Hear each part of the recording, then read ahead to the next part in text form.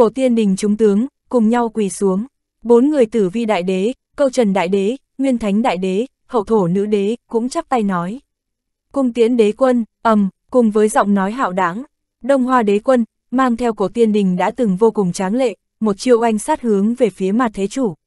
Mà một chiêu này, thực sự có được sức mạnh cấp thần thoại. Tương đương với một chiêu phát ra từ đông hoa đế quân chân thân. Một chiêu này giống như là sao băng rơi, va chạm hướng về phía mặt thế chủ. Va chạm không có gì sánh kịp bộc phát, tinh hồng huyết vụ đều bị đánh tan mảng lớn. Đông, đông, đông, có âm thanh vang lên, đó là tiếng bước chân đạp trên hư không, bị đẩy lui rồi, mà thế chủ bị đẩy lui mấy bước. Đám người quân tiêu giao, ánh mắt ngưng túc, sau đó nhìn qua phía đó. Đông Hoa đế quân chân linh, thiêu đốt hết thảy sức mạnh, đánh ra một chiêu thần thoại. Đánh tan sơ xác toàn bộ huyết vụ xung quanh mà thế chủ, đồng thời khiến ông ta chấn động phải lui bước. Sau khi huyết vụ tán đi, vị đại hắc thủ phía sau màn vẫn luôn ẩn nấp kỹ này, rốt cuộc lộ ra bộ dáng thực thụ. Nhìn thấy người này khiến cho mọi người đều là vô cùng sợ hãi. Một luồng hơi lạnh, thoát ra từ trong xương tủy, xông thẳng đến cổ họng. Trước đó, thân hình của mà thế chủ ám đế, vẫn luôn che giấu trong sương mù tinh hồng nồng đậm. Tất cả mọi người, đều không thể nhìn xuyên thấu sương mù, để nhìn thấy bóng dáng thực sự của mà thế chủ. Mà bây giờ, Đông Hoa đế quân chân linh, bạo phát ra một kích cường tuyệt. Trực tiếp đẩy lui mà thế chủ, sương mù quanh thân cũng bị đánh sơ xác. Chân dung của ông ta, mới chính thức hiện ra giữa thiên địa. Đó là một bóng người khoác trên mình hắc bào cổ phác. Nhìn qua vô cùng thần bí, thâm thúy, khó lường. Có những sợi nhân quả vô cùng vô tận, quấn xung quanh mà thế chủ ám đế. Giống như là từng vòng tròn, vần quanh ông ta, mà điều khiến đám người sợ hãi, chính là khuôn mặt của mà thế chủ. Mặt mũi của ông ta, thay đổi từng thời từng khắc. Giống như nam lại giống như nữ, giống như thú giống như quỷ, giống như thần giống tiên, giống như Phật giống như ma. Dường như có vô số khuôn mặt hòa lẫn vào cùng nhau. Giống như ông ta có thể là bất kỳ một sinh linh nào trên thế gian này. Ông ta là chúng sinh, chúng sinh chính là ông ta. Chuyện này, chuyện này rốt cuộc là như thế nào? Mà thế chủ ám đế, rốt cuộc là tồn tại quỷ dị đến mức nào? Vô số sinh linh, đều có cảm giác cổ họng bốc lên khí lạnh. Chuyện này quá quỷ dị, khiến cho người khác không thể tưởng tượng nổi. Lòng tham của chúng sinh, dục vọng vô tận, bạo lực, cùng phá hại. Các ngươi thật sự cho rằng, bản thân mình là chuột bạch vô tội, còn bản tọa là trùm phản diện tà ác sao? Sai rồi, thật ra là chính mỗi chúng sinh các ngươi, đã tạo ra mà thế chủ ta hôm nay. Mà ta, là một trong mà thế tứ thiên khải, chính là đầu nguồn của mọi dục vọng huyết tinh, bạo lực, phân tranh trên thế gian. Mỗi người trong các ngươi đều là một phần của ám đế ta. Mà thế chủ ám đế phát ra tiếng cười khàn khàn, tĩnh mịch, cho dù là cửu thiên, hay là tiên vực, toàn bộ sinh linh đều hoàn toàn tĩnh lặng. Trong mắt bọn họ, có ảm đạm, có tuyệt vọng, có cả sự vô lực. Là từ tay chúng ta sáng tạo ra mà thế chủ sao? Mỗi người trong chúng ta chỉ cần nội tâm có dục vọng, bạo lực, phá hủy, thực ra đều trở thành thức ăn cho mà thế chủ. Nói cách khác, thật ra là chính chúng ta đang hủy diệt mình sao? Vô số sinh linh giờ phút này đều im lặng không nói gì. Gương mặt của chân thân mà thế chủ, mỗi một lần biến ảo, thật ra chính là bản thân mỗi chúng sinh. Cho nên, nghênh đón hủy diệt, cũng là chuyện đương nhiên. Đây coi như là chúng ta đáng đời sao. Rất nhiều sinh linh đều tê liệt ngã xuống trên mặt đất. Tia hy vọng cuối cùng trong mắt đều bị dập tắt, chỉ còn lại tuyệt vọng vô tận, mà sự tuyệt vọng ở mỗi người, đều đang từ nơi sâu xa, hóa thành một sức mạnh hắc ám, tràn vào bên trong cơ thể mà thế chủ. Tên mà thế chủ này thật đáng chết, dựa vào cảm giác bén nhạy của mình, quân tiêu giao đã nhận ra mục đích của mà thế chủ. Ông ta dùng những lời lẽ này để chúng sinh lâm vào tuyệt vọng. Sức mạnh tuyệt vọng đấy, lại có thể trả lại cho mà thế chủ. Mà thế chủ này, quả nhiên vô cùng xảo trá. Quân tiêu giao biết, những cảm giác tiêu cực của chúng sinh, bạo lực, phá hoại, dục vọng, hoàn toàn có thể trợ giúp mà thế chủ. Nhưng mà thế chủ ra đời, chắc chắn không phải từ các mặt tiêu cực của chúng sinh hội tụ thành. Mà thế tứ thiên khải, thật ra đều có nguồn gốc riêng. Đó chính là thứ mà trước đó quân tiêu giao đã nhìn thấy dung hợp thượng thương hắc huyết. Mà ảnh hắc ám ngồi trên vĩnh hằng cô tịch vương tọa đó. Quân tiêu giao phỏng đoán, trung cực ách họa, chẳng qua chỉ là một con mắt của hắc ám ma ảnh thôi. Mà mà thế chủ đứng trước mặt này, hẳn là cũng chỉ là một bộ phận của hắc ám ma ảnh mà thôi. Vậy thần bí hắc ám ma ảnh không thể phỏng đoán kia, mới là đầu nguồn hắc ám, là đại phá diệt cuối cùng. Mà mà thế chủ, sở dĩ sẽ có dung mạo huyễn biến như thế này. Là bởi vì, ông ta trốn ở phía sau đại hắc thủ sau màn, châm ngòi các thế lực lớn, tự nhiên sẽ đoạt xá được nhiều người khác nhau, có được hóa thân khác biệt. chương 2049 trận chiến của vô trung đại đế đỉnh phong. chương 2049 trận chiến của vô trung đại đế đỉnh phong. Một câu của mà thế chủ đã có thể khiến chúng sinh tuyệt vọng, nhờ vào đó bổ sung năng lượng của ông ta. Không thể không nói, mà thế chủ này quả thực vô cùng âm hiểm xảo trá. Nhưng ngay khi trong lòng chúng sinh tiên vực đều đang tràn ngập cảm xúc tuyệt vọng. Bỗng nhiên, đinh, đinh, đinh, tiếng chuông hùng hồn, mang theo làn sóng vô biên dâng trào, quét sạch bát phương. Tất cả sinh linh đang tuyệt vọng, mê mang, hoang mang đều được đánh thức. Tiếng chuông này, tựa như chống chiều chuông sớm, kéo bọn họ ra khỏi tuyệt vọng. Đại đế, toàn bộ sinh linh đều nhìn về phía vô trung đại đế. Chuông vô trung trong tay ông ấy chấn động, kéo chúng sinh ra khỏi tuyệt vọng. Ừm, trên gương mặt đang biến hóa vô tận của mặt thế chủ, hiện ra tia sắc lạnh. Thế gian này, không có bóng tối, thì sẽ không có ánh sáng. Không có chiến tranh, thì sẽ không có hòa bình. Không có tuyệt vọng, cũng sẽ không có hy vọng, Mặt thế chủ, người nói người được ngưng tụ từ sự tiêu cực trong mỗi chúng sinh. Nhưng, nhưng ánh sáng, hòa bình, hy vọng đó, ở đâu? Một câu nói của vô trung đại đế, khiến thiên địa yên tĩnh như chết. Đôi mắt mà thế chủ vô cùng lạnh lẽo, không nói nên lời. Thật ra, vô trung đại đế bỗng nhiên nhìn toàn bộ cửu thiên tiên vực chung quanh. Dường như mỗi một chúng sinh, đều ở trong mắt ông ấy. Hy vọng, ở ngay trong trái tim của mỗi một chúng sinh. Chỉ cần có hy vọng, thì sẽ có hoàng đế thứ hai, hoàng đế thứ ba đứng ra, trấn áp ngươi. Ngươi, sẽ mãi mãi không được siêu sinh. Giọng nói của vô trung đại đế hạo đáng, rung động bát hoang minh mông. Nếu ngươi đã muốn tìm cái chết, bản tọa sẽ thành toàn ngươi. Lần đầu tiên mà thế chủ có cảm xúc gọi là tức giận.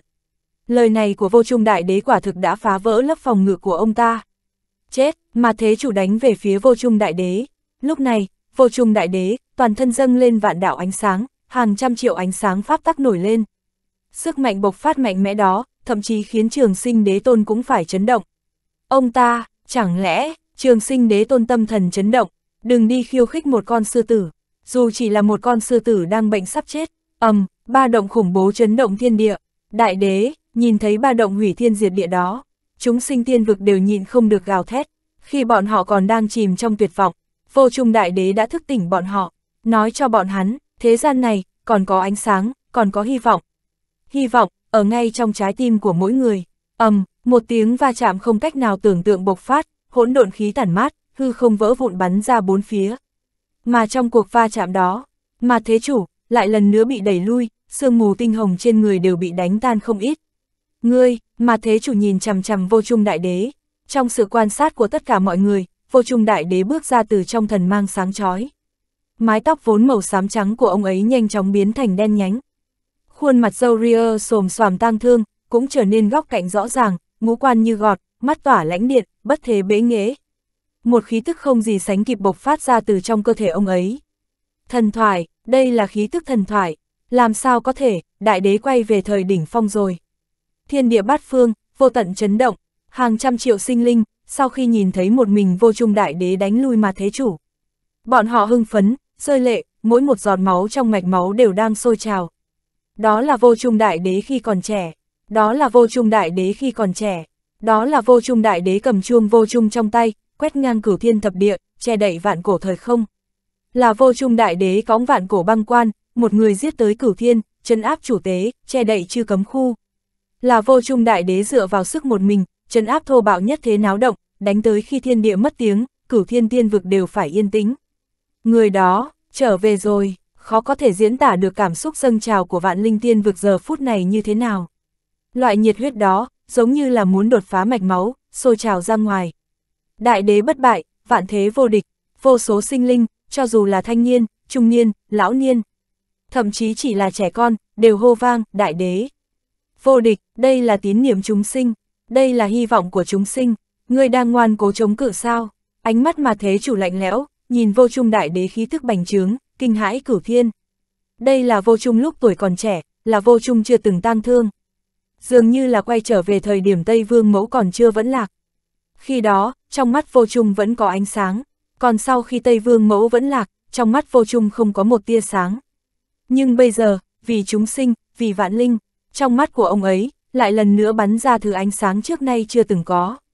Kinh thiên địa, khiếp quỷ thần, đó là ánh sáng mang lại hy vọng cho chúng sinh, Ám đế, dám đấu một trận không? Thanh âm hạo đáng, ẩn chứa bất thế bá khí, vang vọng hoàn vũ, quanh quẩn thiên địa. Vô trung đại đế, muốn một mình huyết chiến mà thế chủ. Hừ, ta có ban cho ngươi cái chết cũng không sao. Mà thế chủ cười lạnh, sao ông ta có thể không nhìn ra, vô trung đại đế là nỏ mạnh hết đà. Là ngọn nến sắp cạn dầu, liều mạng thiêu đốt, chỉ càng khiến ông ta chết càng nhanh. Vô trung đại đế, trong mắt không có buồn cùng vui, càng không có sự sợ hãi đối với cái chết. Chỉ có quyết tâm, vì thương sinh, quyết tâm chiến một trận với mặt thế chủ. Thế gian có luân hồi, không có bắt đầu cũng không có kết thúc. Thân ta đoạn luân hồi, mệnh ta nghịch thương thiên, vô trung đại đế, tay nâng chuông vô trung, bỏ lại sống chết ở phía sau. Cho dù ông ấy sống hay chết, giờ phút này đều sẽ chiến đấu đến chương cuối. ầm, um, pháp tắc cuồng mãnh sôi trào, sức mạnh thần thoại, từ trong cơ thể vô trung đại đế bành trướng ra. Hàng trăm triệu quần tinh, cam nguyện đi theo ông ấy. Ánh sáng nhật nguyệt, cam nguyện bởi vì ông ấy mà ảm đạm. Vô trung đại đế, thôi động chuông vô trung chấn áp tới, chiêu thứ nhất, liền đẩy lui mà thế chủ chương 2050 vì thương sinh, chiến đấu với mặt thế chủ, sứ mệnh kết thúc. chương 2050, vì thương sinh, chiến đấu với mặt thế chủ, sứ mệnh kết thúc.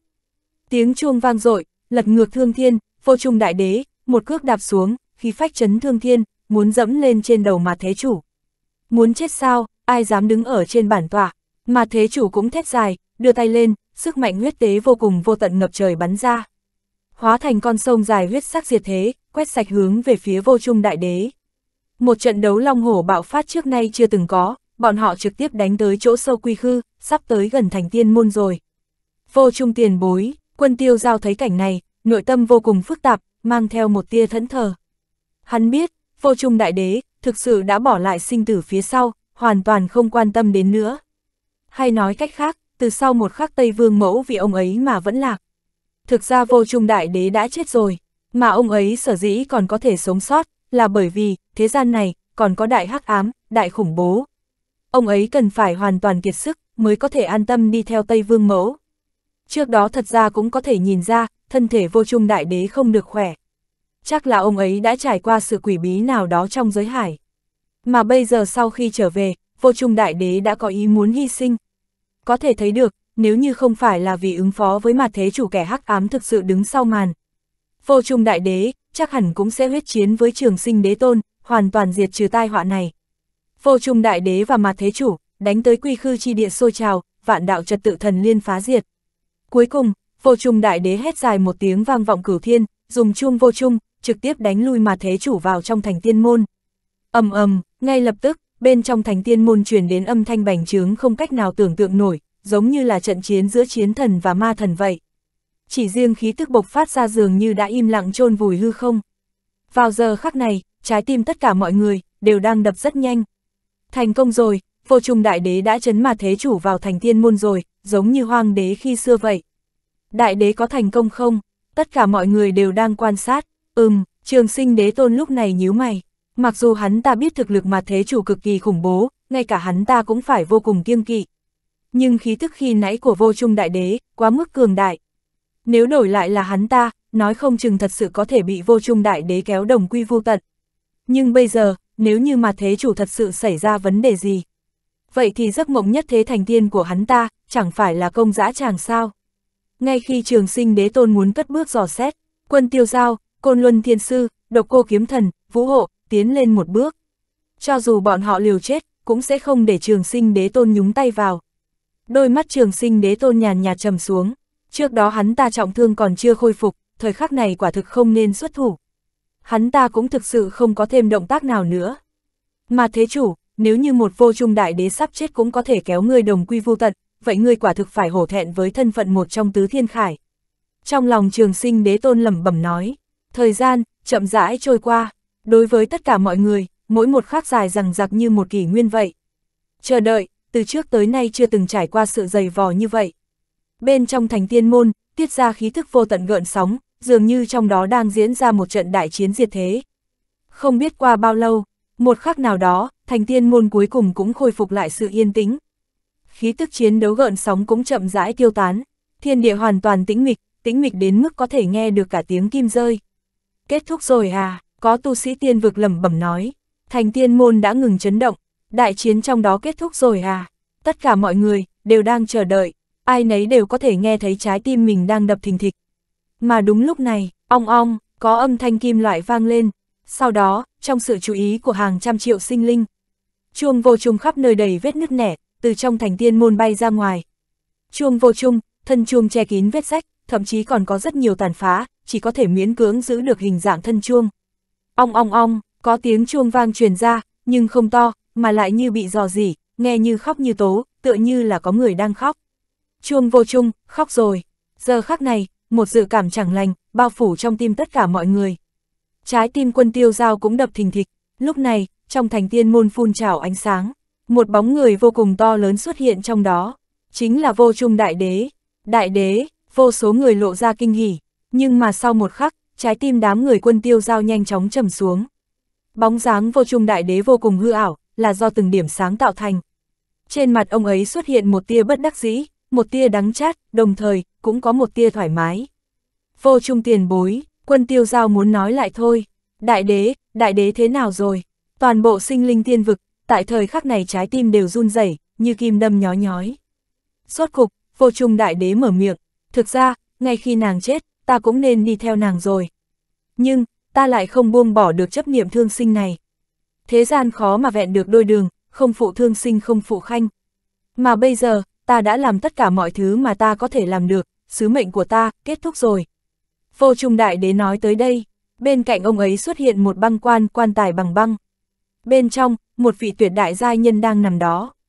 Bên trong băng quan, dung nhan của nàng, không chút thay đổi, giống như lúc ban đầu gặp gỡ vậy. Vô trung đại đế, nam tử tuyệt thế bá khí này, giờ phút này trong mắt là vô hạn thâm tình, nhìn giai nhân bên trong băng quan. Khi còn sống khó lưỡng toàn, sau khi chết bầu bạn cùng nàng. Để nàng, đợi lâu rồi, chương 2051 một băng quan táng vô trung. chương 2051, một băng quan táng vô trung.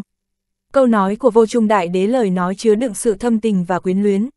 Bóng hình mông lung của ông ấy, biến thành từng điểm ánh sáng, rơi xuống giữa băng quan quan tài bằng băng tụ họp cùng Tây Vương Mẫu. Sau đó, băng quan này, chủ động phá không ra, biến mất trong chỗ sâu vũ trụ tinh không minh mông bát ngát. Khi còn sống không thể cùng ngươi đi khắp thiên sơn vạn thủy. Sau khi chết cùng ngươi đồng táng phiêu lưu vạn cổ tinh không. Một băng quan, táng vô trung, táng Tây Vương Mẫu. Cũng làm cho tình yêu của bọn họ, trở thành một thần thoại vĩnh hằng, phiêu lưu trong vũ trụ vô tận, truyền tụng vạn cổ. Giờ khắc này, thiên địa vắng vẻ, chúng sinh không nói gì. Chỉ có vô số nước mắt, đang rơi xuống. Khương Thánh Y, Khương Lạc Ly, và rất nhiều nữ tử, rất nhiều nam tử, không cách nào ngừng nước mắt lại được. Truyền thuyết tình yêu của vô trung đại đế và Tây Vương Mẫu, rốt cuộc tại thời khắc này, hoàn toàn đặt dấu kết thúc. Đồng táng băng quan, phiêu lưu vạn cổ, có lẽ, đây cũng là một loại cách thức hoàn mỹ khác. Đại đế, ngài đã quá mệt mỏi rồi, xin ngài an tâm mà đi. Cung tiến, vô trung đại đế, chín đại tiên vực, vô số sinh linh, tại thời khắc này, hoặc là quỳ xuống, hoặc là uốn gối, hoặc là chắp tay, cung tiến vô trung đại đế. Ông ấy đã dành tất cả mọi thứ cho tiên vực, bây giờ cuối cùng cũng đạt được ước muốn, mãi mãi ở bên người mà mình yêu thương nhất. Cả khuôn mặt Khương Thánh Y đều là nước mắt, không biết là bởi vì kết cục của Tây Vương mẫu mà rơi lệ, hay là bởi vì chính kết cục của nàng mà rơi lệ. Tiêu giao, nhìn quân tiêu giao, nước mắt Khương Thánh Y mông lung, vô hạn tình thâm. Mà giờ khắc này quân tiêu giao, không hề rơi lệ. Không phải là bởi vì tính cách hắn đạm mạc, không tình cảm chút nào. Mà là bởi vì, hắn không có quyền bi thương, không có nơi dư thừa nào để rơi lệ. Mặc dù vô trung đại đế đồng táng băng quan theo Tây Vương mẫu, nhưng chuông vô trung khắp nơi đầy vết nứt, lại rơi vào trong tay quân tiêu giao. Bên trong, truyền đến giọng nói của vô trung đại đế lưu lại từ trước đó. Cuối cùng ta cũng có thể nghỉ ngơi, có thể đi cùng với nàng ấy rồi, sau này phải dựa vào ngươi rồi. Ngoài ra, còn có tai họa ngầm ở trong thế giới giới hải, ta đã lưu lại một chút tin tức ở trong chuông vô trung, cũng nhờ cả vào ngươi. Thế gian có luân hồi, nhưng ta không hy vọng, ngươi tiếp tục vòng luân hồi của ta, ngươi. Phải đánh vỡ luân hồi này. Nghe thấy những lời này, quân tiêu giao im lặng, hắn không có tư cách bi thương, càng không có chỗ trống để phiền muộn. Hơn nữa điều càng quan trọng hơn chính là, ánh mắt quân tiêu giao bỗng nhiên nhìn về phía thành tiên môn.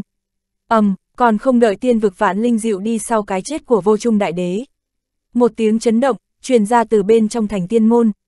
Bất chợt, trong sự quan sát của tất cả mọi người. Tinh hồng huyết vụ vô cùng vô tận, dâng lên từ bên trong thành tiên môn. bóng dáng mặt thế chủ, xuất hiện từ trong đó, ông ta lại còn sống mà bước ra từ trong thành tiên môn. Mà thế chủ còn sống, rất nhiều tu sĩ tiên vực, như đọa hầm băng, trái tim hoàn toàn chìm xuống vực sâu. Tất nhiên bọn họ sẽ không ai trách vô trung đại đế không giải quyết được mà thế chủ. Dù sao vô trung đại đế, cũng dùng sinh mệnh đã bị thiêu đốt để chiến đấu. Mà mà thế chủ, lại quá cường đại, nhưng sự hy sinh của vô trung đại đế, cũng hoàn toàn không phải là không có tác dụng gì. Bởi vì giờ khắc này, áo bào đen trên người mà thế chủ đều vỡ vụn, khí tức hỗn loạn, thân phụ thương thế.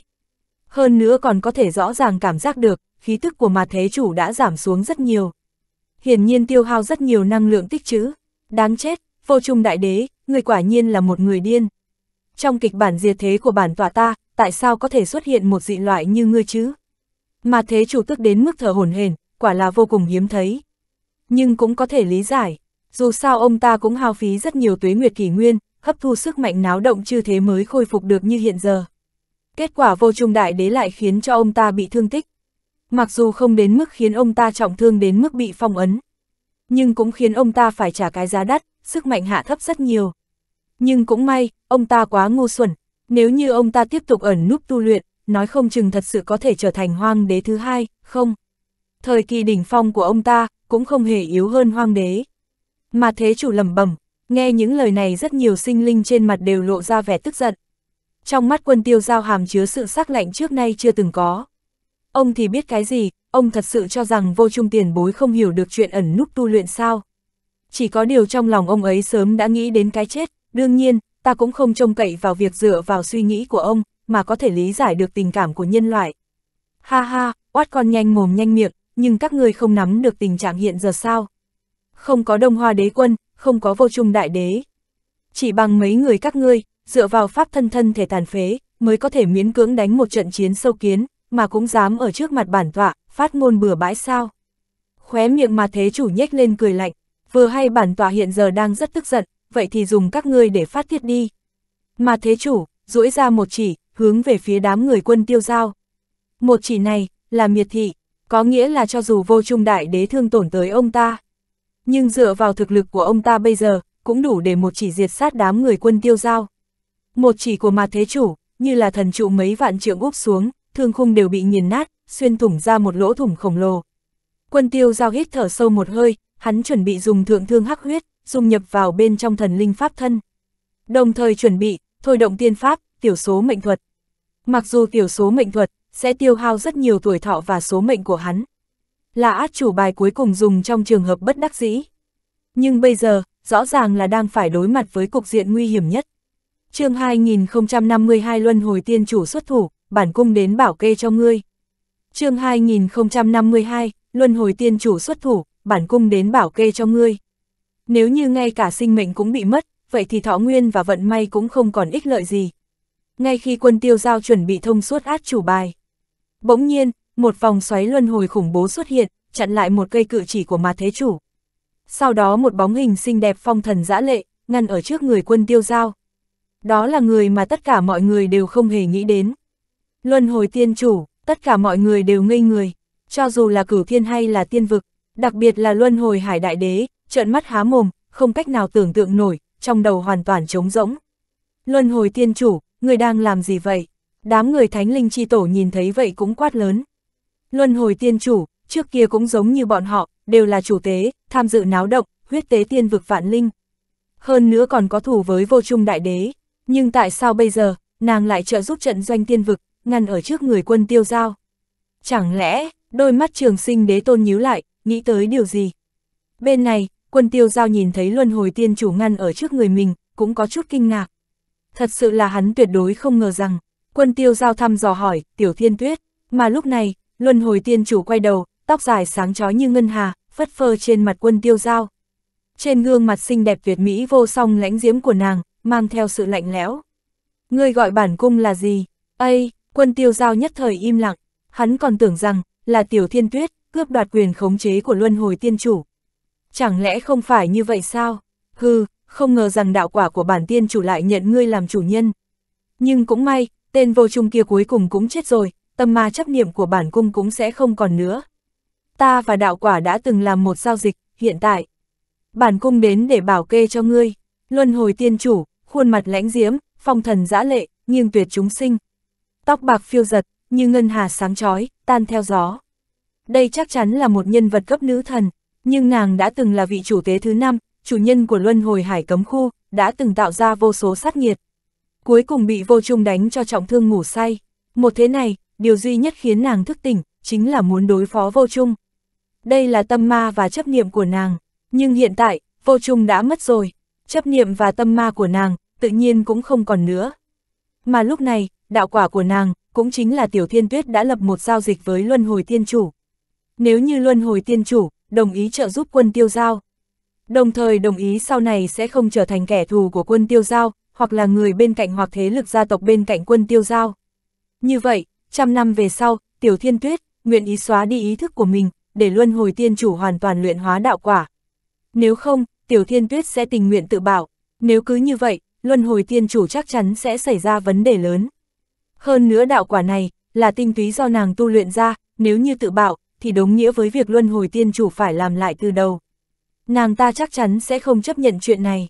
Khi một người đã đứng ở trên đỉnh phong, nếu để cho nàng ta rơi xuống, vậy thì rõ ràng là sống còn khó chịu hơn chết.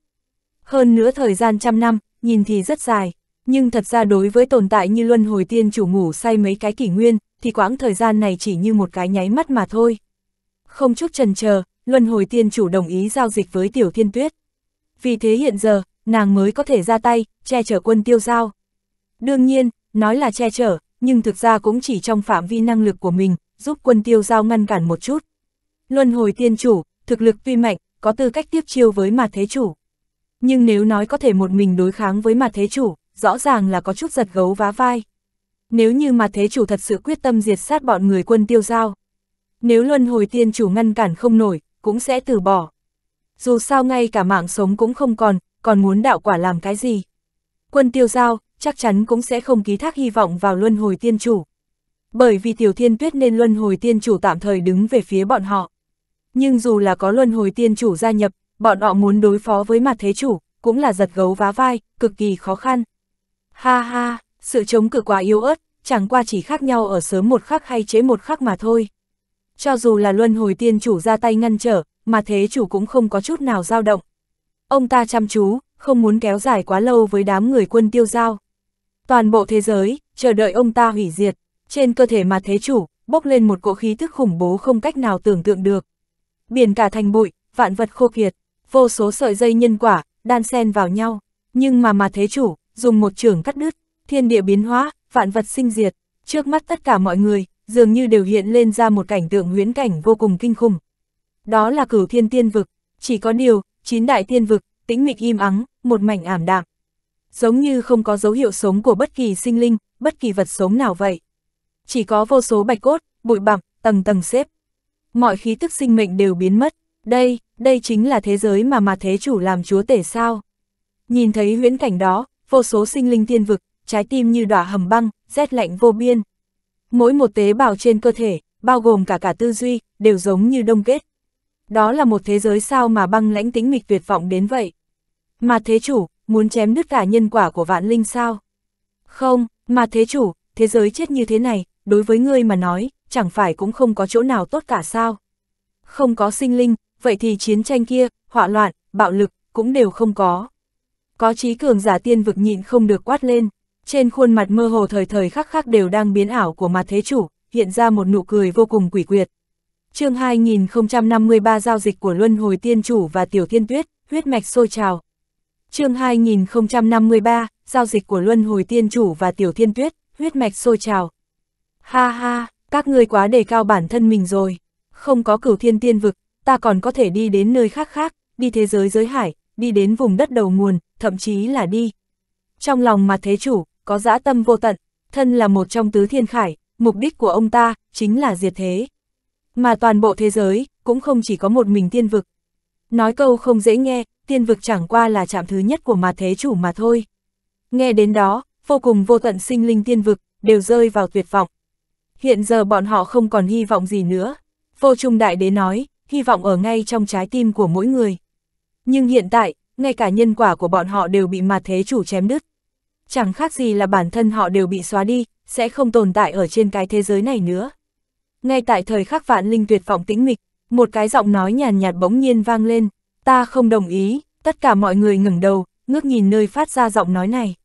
Quân tiêu giao, luân hồi tiên chủ cũng lộ ra sự ngạc nhiên, đối mặt vạn cổ đại hắc thủ, mạnh như vô chung, cuối cùng cũng chỉ có thể vẫn lạc.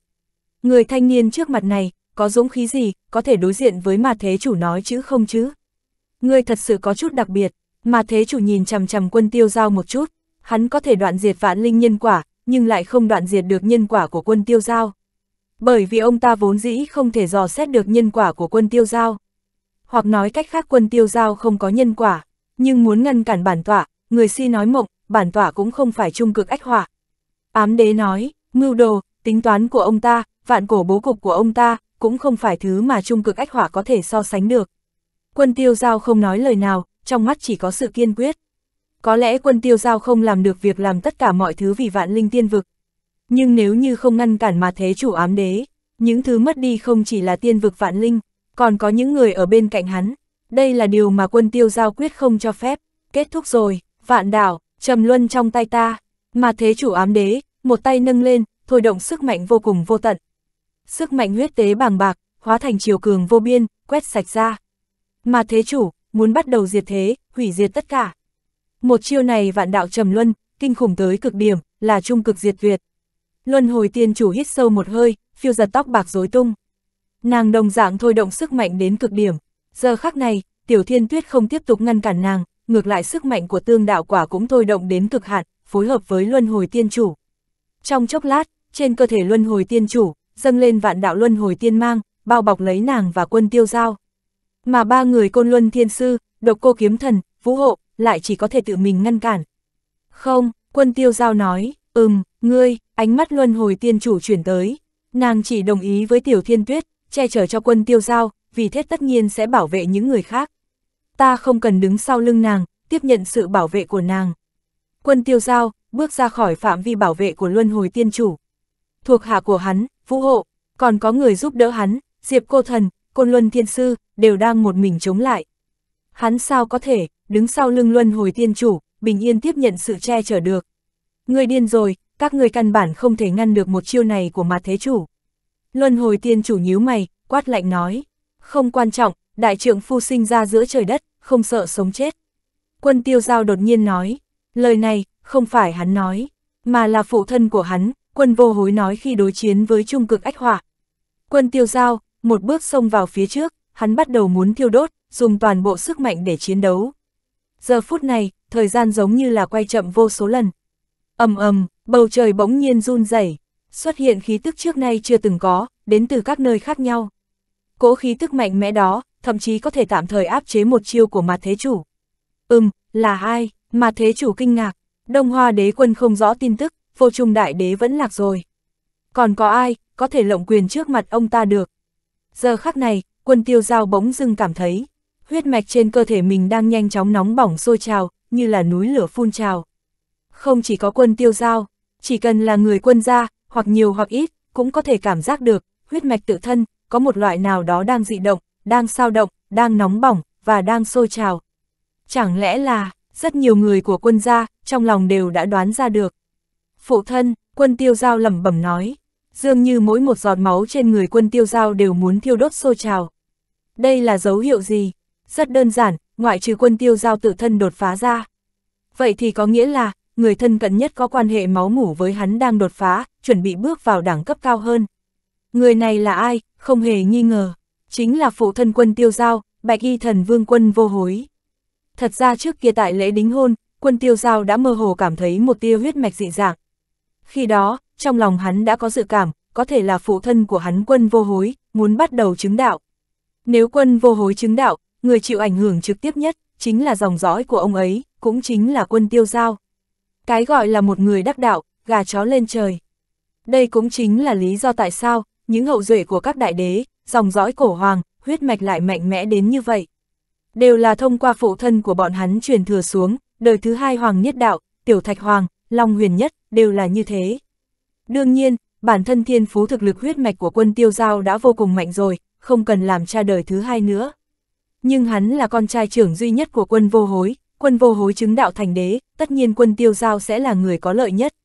chương 2054 tam vị nhất thể, thần vương chứng đạo, trời ban đế tọa, không đủ tư cách. chương 2054, tam vị nhất thể, thần vương chứng đạo, trời ban đế tọa, không đủ tư cách. Hiện giờ quân tiêu giao có thể cảm giác được, mặc dù thực lực cảnh giới của mình, nhìn thì như không hề tăng lên. Nhưng trong lúc mơ hồ, thiên tư vốn yêu nghiệt của hắn, tựa như vẫn còn tiếp tục tiến hóa. Quân tiêu giao cảm giác, giống như là bản thân mình chứng đế vậy. Pháp tắc xung quanh trời đất vây quanh, hiện ra rõ ràng trong lòng hắn. Dị số chi vương thiên tư vốn đã yêu nghiệt của hắn, đúng là phải tiếp tục hướng về phía trước rảo bước tiến lên. Ừm, có người muốn chứng đế, mà thế chủ kinh ngạc, ông ta kinh ngạc, không phải vì có người muốn chứng đế ở thời điểm này. Đối với ông ta, cho dù là đại đế thực sự chứng đạo thành công, thì trong mắt ông ta đều như là sâu kiến. Điều khiến ông ta ngạc nhiên chính là, khí tức chứng đạo này, tại sao lại có chút kỳ lạ? Lại có thể dẫn động quy tắc thiên địa, áp chế đại chiêu của ông ta. Chẳng lẽ, mà thế chủ nghĩ đến điều gì, nhìn về phía chỗ sâu minh mông. Ông ta nghĩ tới một việc, ầm ầm, đúng lúc này, giới hải xuất hiện biến động lớn, trùng trùng điệp điệp sóng lớn đang thét gào. Vô số tiểu thế giới, thời thời khắc khắc đang sinh diệt. Dường như có thứ gì, muốn phá sóng mà đến. Chẳng những giới hải, từ nơi sâu trong vạn cổ táng thổ, tuyên cổ tĩnh mịch, tràn ngập tử khí. Táng giới vốn dĩ phong ấn vạn cổ, giờ phút này cũng bắt đầu rung động kịch liệt. Ừm, cỗ khí tức này là, một bóng người khí tức trầm hồn bị kinh động, hắn ta chính là thuộc hạ của quân vô hối, một trong thần vương tám bộ chúng, ma vương Lý Tín. Khí tức này, là chủ thượng, Lý Tín đứng dậy, ánh mắt lộ ra vẻ khó tin. Quân vô hối, nhất khí hóa tam thanh, một thân chấn táng giới, một thân chấn dị vực, một thân chấn giới hải. Mà hiện giờ, táng giới xuất hiện dị động, khí tức vốn im lặng đang bộc phát. Đồng thời, có kiếm khí kinh khủng không gì sánh nổi đang dâng lên. Đó không phải là khí tức Chu Tiên Kiếm, nhưng lại có cùng nguồn gốc với Chu Tiên Kiếm. Cùng thời gian đó, tại dị vực, cũng có dị động bộc phát. Mặc dù trước đó, quân tiêu giao và quân vô hối đã giải quyết trung cực ách hỏa của dị vực. Nhưng cũng không có nghĩa là dị vực không có một chút uy hiếp nào nữa cả. Dị vực còn có thiên tai cấp bất hủ ngủ say, còn có trung cực đế tộc cường đại. Cho dù không có trung cực ách hỏa, đối với tiên vực, dị vực vẫn là tai họa ngầm cực lớn. Cho nên về sau, sau khi giải quyết trung cực ách hỏa, một mình quân vô hối, vẫn chấn tại chỗ sâu dị vực như trước. Dị vực, táng thổ, giới hải, tam đại cấm địa, đồng thời sinh ra dị động, có thần mang, ánh sáng tinh vũ cửu trọng thiên. Đây, đây là, vào thời khắc này, hàng trăm triệu chúng sinh đều ngây ngốc. Vốn dĩ bóng tối vô cùng vô tận đã bao phủ tiên vực, hủy diệt mọi thứ. Nhưng ngay trong khi mọi người đều không thể hít thở được trong bóng tối. Ba khu cấm địa, đồng thời bắn ra ánh sáng ngập trời. Ánh sáng đó vô cùng sáng chói, xé rách bóng tối mênh mang. Mang đến một tia ánh sáng nhạt cho toàn bộ sinh linh đang tuyệt vọng. Khí tức này, chẳng lẽ là, ân nhân, là ân nhân. Tại biên quan, ba tứ gia nhịn không được ngửa mặt lên trời lớn giết gào, vô cùng kích động. Phía bên quân gia, một vài cường giả cũng vô cùng rung động, sau đó lộ ra ý cười. Là vô hối, ông ấy tới rồi. Vô hối, phía quân gia có một vị giai nhân, nhìn về tinh vũ phía bắc, trong mắt có nước mắt rơi xuống, chính là Khương Nhu. Quân trở về rồi, Khương Nhu nhịn không được hô lên, mặc dù giọng nói vô cùng ôn nhu, lại tựa như truyền khắp không gian, truyền khắp dị vực, táng thổ, giới hải. Đây là sự nhung nhớ của thê tử đối với trượng phu. Mà giờ khắc này, không chỉ có Khương Nhu, vô cùng vô tận sinh linh, cũng đã hiểu ra, là ai đang trở về. Quân trở về rồi, thần vương, là bạch y thần vương đại nhân, vô hối thần vương, thật sự là ngài ấy sao? Vô hối thần vương, xin ngài trở về. Hàng trăm triệu chúng sinh quỳ bái, tiếng kêu gọi vô cùng vô tận, vang vọng thiên địa thương mang. Ngay cả mà thế chủ cũng có chút ngạc nhiên, những con kiến hồi chúng sinh này, phải tín nhiệm người này đến mức nào mới có thể kêu gọi hắn ta như vậy được. Phụ thân, trên mặt quân tiêu giao cũng lộ ra ý cười. Giờ khắc này, giữa thiên địa, đều là âm thanh kêu gọi vô cùng vô tận. Mà dị vực, táng thổ, giới hải tam địa, bỗng nhiên có ba đám khí thức vô cùng kinh khủng nổi lên. Giống như là ba vầng thái dương, xé rách huyết vụ ám trầm tiên vực. Tất cả mọi người đều nhìn thấy, bên trong ba vầng thái dương đó, mơ hồ hiện ra một góc áo trắng. Sau đó, trong sự chú ý của tất cả mọi người, ba bóng người cất bước, vượt ngang hàng trăm triệu không gian, hư không chấn vỡ, phong lôi kinh động. ầm, ba đạo ánh sáng, ba bóng người, ầm vang đánh vào nhau.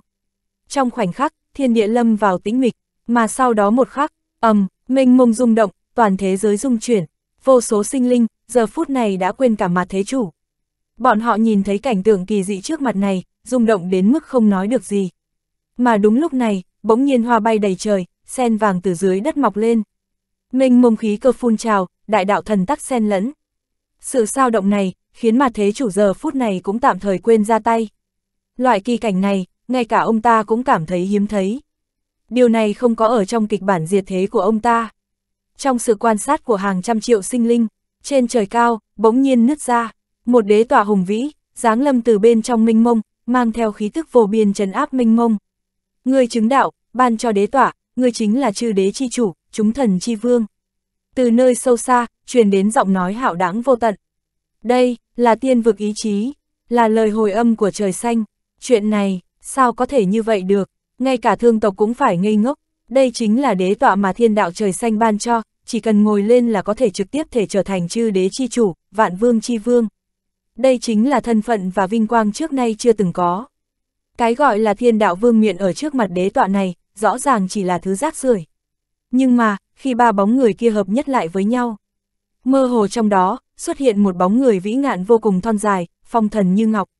Từ trong miệng ông ấy truyền ra âm thanh nhàn nhạt, ban thưởng cho ta hay thương hại ta, thiên đạo, không đủ tư cách, chương 2055 Chu Tiên Tứ Kiếm Tể xuất, quân vô hối yêu nghiệt. chương 2055, Chu Tiên Tứ Kiếm Tể xuất, quân vô hối yêu nghiệt. Bóng người kia, đưa tay vung lên, khiến đế tỏa vỡ nát. Thiên địa tĩnh mịch, đây chính là đế tỏa mà trời xanh ban cho A. Chỉ cần ngồi lên, chính là chư đế chi vương. Từ xưa đến nay, có mấy người có được vinh quang như vậy. Nhưng mà, người kia lại kinh thường.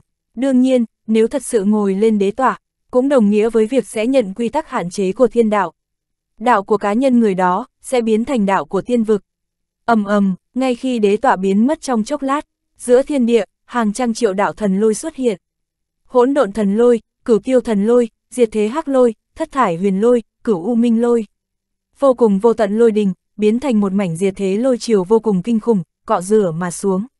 Điều này giống như chính là, không đồng ý, thì sẽ hủy diệt. Hừ, một tiếng hừ lạnh vang lên, chợt, bóng người kia, giơ tay lên, Chu Tiên, hưu, một đạo kiếm quang, từ dị vực xuất hiện, xé rách vạn trọng không gian, phá không mà đến.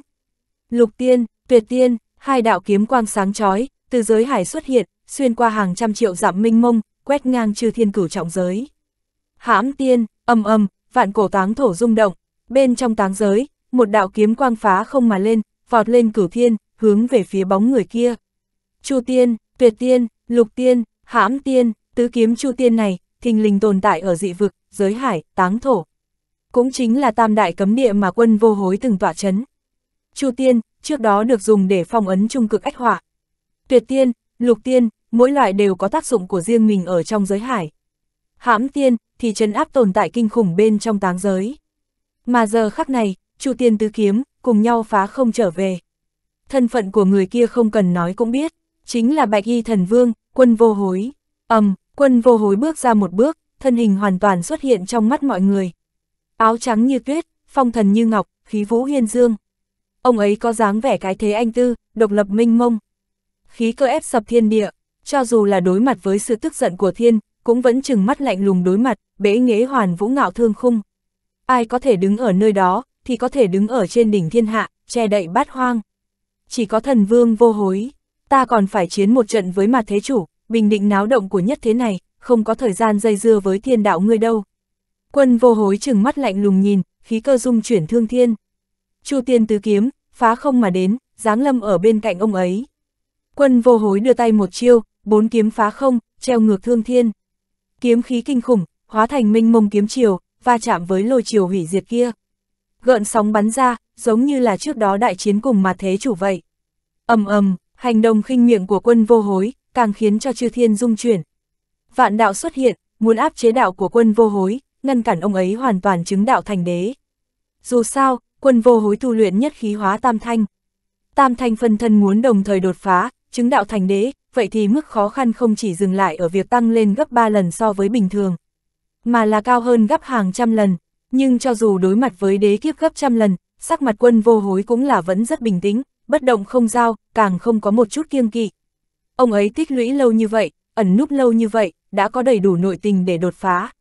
Lại là một nhân vật khiến người khác không thể lường trước được. nhìn thấy quân vô hối, trong mắt mà thế chủ biến ảo. Ông ta ngược lại không ra tay trước, cái này bắt nguồn từ sự tự tin tuyệt đối của ông ta. Hơn nữa ông ta cũng chưa từng gặp, có người có thể tam đại phân thân, đồng thời chứng đạo thành đế. Trường sinh đế tôn cũng đang theo dõi, trong mắt có một vòng dị sắc. Lại là một nhân vật giống với vô trung. Trường sinh đế tôn thầm thở dài nói, tiên vực, quả thật là không thiếu anh hùng, nhân tài xuất hiện lấp lấp Hoàng đế, vô trung, hiện tại lại là quân vô hối. Không, có lẽ còn phải tăng thêm một kẻ là quân tiêu giao nữa. Người này đột phá sao có thể khủng bố như thế? Đám người thánh linh chi tổ vô cùng kinh ngạc, cho dù thời điểm mà bọn hắn chứng đạo thành đế cũng thua xa cảnh tượng trước mắt này. Thậm chí căn bản cũng không phải là cùng một tầng cấp. Điều này chẳng phải đồng nghĩa với việc, sau này nếu quân vô hối đạt đến ngang cấp với bọn họ, có thể treo bọn họ lên mà đánh sao. Yên tâm, càng là yêu nghiệt, thì ông ấy càng không có khả năng sống sót, mà thế chủ sẽ không cho phép loại tồn tại này sống sót. Trường sinh đế tôn cũng không để ý, quân vô hối càng yêu nghiệt, mà thế chủ sẽ càng không bỏ qua con cá lớn này. Vô cùng vô tận lôi chiều trúc xuống, đủ để khiến cho đại đế hoàn toàn chết đi, còn có vạn đạo áp chế đạo của quân vô hối, ngăn cản hắn chứng đạo thành đế. Nhưng quân vô hối đều không để ý tất cả những thứ này. Ông ấy cất bước ra, như thần vương đi tuần, chung quanh chu tiên tứ kiếm hộ đạo, ông ấy đi về phía mà thế chủ. Mỗi một bước đi, khí tức của ông ấy càng cường thịnh một phần. Sức mạnh chứng đế đại kiếp cũng đồng thời càng yếu một phần. Một bước, hai bước, ba bước, toàn thân quân vô hối, bắt đầu xuất hiện ánh sáng đế đạo, xuyên qua cửu thiên, ánh sáng vũ trụ bát hoang. Đến cuối cùng, khí tức đế chi cuồn cuộn, quét sạch minh mông, chấn động hàng trăm triệu tinh vực. Vô số sinh linh, quỳ trên mặt đất, quỳ bái dưới uy thế này. Chúc mừng thần vương chứng đạo, hàng trăm triệu sinh linh, cúng bái, la lên, tạo thành một mảnh âm thanh trùng trùng điệp điệp. Trong mắt bọn họ, lại một lần nữa xuất hiện ánh sáng. Đông Hoa đế quân biến mất, vô trung đại đế mất đi, nhưng, Bạch Y thần vương cường thế chứng đạo trở về, muốn mình náo động nhất thế này. Đây, thật sự chỉ là chứng đạo thành đế sao, tại sao ta lại có cảm giác khí thức kia, căn bản không phải cùng một cấp bậc với đại đế. Có đại đế hít sâu một hơi, mang theo sự kinh nghi. Chứng đạo thành đế giả, khí tức quả thật vô cùng cường đại. Nhưng chắc chắn không thể nào so sánh với quân vô hối trước mặt này được.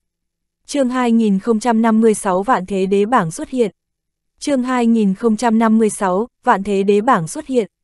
Nhất khí hóa tam thanh chứng đạo, quả nhiên kinh khủng, quân vô hối không hổ là sau khi rời xa thiên viễn tổ, là trụ cột có thể kéo dài vạn thế khí vận của quân gia ta. Quân Thái Hoàng cảm thán nói, quân vô hối chứng đạo, ngay cả quân Thái Hoàng là người đứng đầu trong số các vị đại đế, cũng có cảm giác không sánh bằng ông ấy. Dòng dõi của ông ấy mới là yêu nghiệt nhất, đáng tiếc thời gian trưởng thành quá ngắn. Quân Lăng Tiêu nói, giống như quân Tiêu Giao đã từng nói, cho hắn thời gian trăm năm ngàn năm, có thể tình hình hiện tại sẽ không như vậy. Trong sự quan sát của tất cả mọi người, quân vô hối, rốt cục đi đến vùng đất quy khư. Mà ngay khi ông ấy vừa đặt chân đến vùng đất quy khư, đế kiếp kinh khủng giữa thiên địa, cũng hoàn toàn tiêu tán. Trên cơ thể quân vô hối, quang mang sán lạn, ánh sáng đế đạo, chiếu sáng toàn bộ cửu thiên tiên vực. Cũng chính tại thời khắc này, thiên địa oanh minh, trên bầu trời, có khí tức minh mông xuất hiện. Nhưng lần này, cũng không phải là thiên đạo ý chí đang can thiệp cái gì, mà là có một bảng danh sách sáng chói xuất hiện từ bên trong hư không. Danh sách vàng, tản ra khí tức siêu nhiên vô thượng. Cái này giống như là quy tắc mà ngay cả tiên vực thiên đạo cũng không thể khống chế được, chính là tự chủ nổi lên. Từng tia từng sợi thần mang lấp lóe, bảng danh sách bắt đầu rơi xuống, như là thác nước chút xuống. Sau khi bảng danh sách rơi xuống, từng cái tên vạn cổ theo đó xuất hiện. Trong đó mỗi một cái tên đều vô cùng sáng chói, đại diện cho một đoạn thời gian huy hoàng, đại diện cho vinh quang của một thời đại. Đây rõ ràng chính là vạn thế đế bảng trong truyền thuyết. Vạn thế đế bảng, chính là danh sách đế cảnh có thiên tư yêu nghiệt nhất tiên vực từ xưa đến nay. Thứ này không có liên can đến tiên vực ý chí, hay là thiên đạo. Cũng không ai biết, vạn thế đế bảng, xuất hiện từ lúc nào. Nó chính là như vậy, xuất hiện một cách tự nhiên, dường như là một loại quy tắc siêu thoát ở thiên địa. Một vị đại đế, nếu như đủ mạnh, đủ yêu nghiệt, có thể quét ngang một thế gian, che đậy một thời đại, thì sẽ có tư cách khiến vạn thế đế bảng xuất hiện, sau đó có tên trong danh sách. Bất kỳ một vị cường giả nào khi chứng đạo thành đế, nếu có thể xuất hiện trên vạn thế đế bảng. Vậy thì chắc chắn sẽ là một truyền kỳ, là một loại vinh quang vô thượng. Có thể nói, điều này thậm chí còn khiến lòng người kinh ngạc hơn so với đế tọa mà thiên đạo ban cho. Bởi vì, đây chính là nơi so sánh của tất cả đại đế từ xưa đến nay. Đương nhiên, đây chỉ là cường giả vừa chứng đạo thành đế, mới có thể dẫn động bảng danh sách. Nếu như là đế cảnh bên trong đó tiếp tục đột phá, thì sẽ không thể khiến vạn thế đế bảng xuất hiện được. Nhưng, chỉ cần có thể leo lên vạn thế đế bảng, dù chỉ là xếp hạng cuối cùng, cũng đều có nghĩa là thực lực thiên tư, đủ để che đậy đương thời. Loạn cổ, khí thiên, vô trung, thần ma, hoang cổ tần gia thủy hoàng đại đế, vũ hóa thần triều khai quốc thái tổ vũ hóa đại đế, đều từng có tên trên vạn thế đế bảng. Đây đều là trí cường giả tiếng tăm lừng lẫy tiên vực. Và về sau bọn họ cũng đều không ngoại lệ, đều khai sáng một cơ nghiệp bất hủ. Hiện giờ, sau quãng thời gian không biết qua bao lâu, vạn thế đế bảng, lại lần nữa xuất hiện. Hơn nữa lại là trong khi tiên vực hắc ám nhất, tuyệt vọng nhất. Việc này quả thực đã mang đến tia sáng cho tất cả tâm linh đang ảm đạm. Ánh dạng đông của hy vọng, ầm ầm, vạn thế đế bảng, vô cùng minh mông, như một tấm màn trời buông xuống. Vô số danh tự sáng chói hiện lên từ đó, tổng cộng có một ngàn vị trí, đừng nghĩ rằng một ngàn vị trí liệu có phải hơi nhiều quá không. Phải biết rằng, đây chính là tiên vực, đời đời kiếp kiếp, vô số kỷ nguyên, không ngừng tăng lên. Mà tiên vực, mỗi đời đều có hàng tỷ tỷ sinh linh. Trong từng ấy thời gian dài đằng đẵng, trong số vô vàn sinh linh như thế, chỉ có một ngàn người, có thể leo lên vạn thế đế bảng. Từ đó có thể thấy được, một nghìn cái ghế này, có hàm lượng cao đến mức như thế nào. Có thể nói như thế này, dù là quân vô hối chỉ đứng cuối bảng, chỉ xếp hạng ở vị trí hơn 900. Nhưng cũng đủ đế khiến cho hàng tỷ sinh linh tiên vực chiêm ngưỡng cúng bái, kính sợ như thần linh. a thật thú vị, không ngờ rằng bên trong kịch bản diệt thế của bản tọa, lại xuất hiện một cảnh tượng không ngờ đến như này. Ngay cả bản tọa cũng rất hiếu kỳ, vị này quân gia, có thể xếp ở vị trí bao nhiêu. Nhìn thấy vạn thế đế bảng xuất hiện, mà thế chủ ngược lại lại càng cảm thấy hứng thú. Có thể nói, quân vô hối thực lực càng mạnh, thì ông ta sẽ càng cảm thấy thú vị. Dù sao đối với ông ta, diệt thế chỉ là chuyện sớm một khắc hay chế một khắc mà thôi, mà thế chủ hoàn toàn không quan tâm. Hay nói cách khác ông ta càng hy vọng nhìn thấy, chúng sinh bởi vì quân vô hối, mà sinh ra hy vọng. Cuối cùng, lại càng tuyệt vọng hơn, loại tuyệt vọng đó, nhất định sẽ vô cùng mỹ diệu.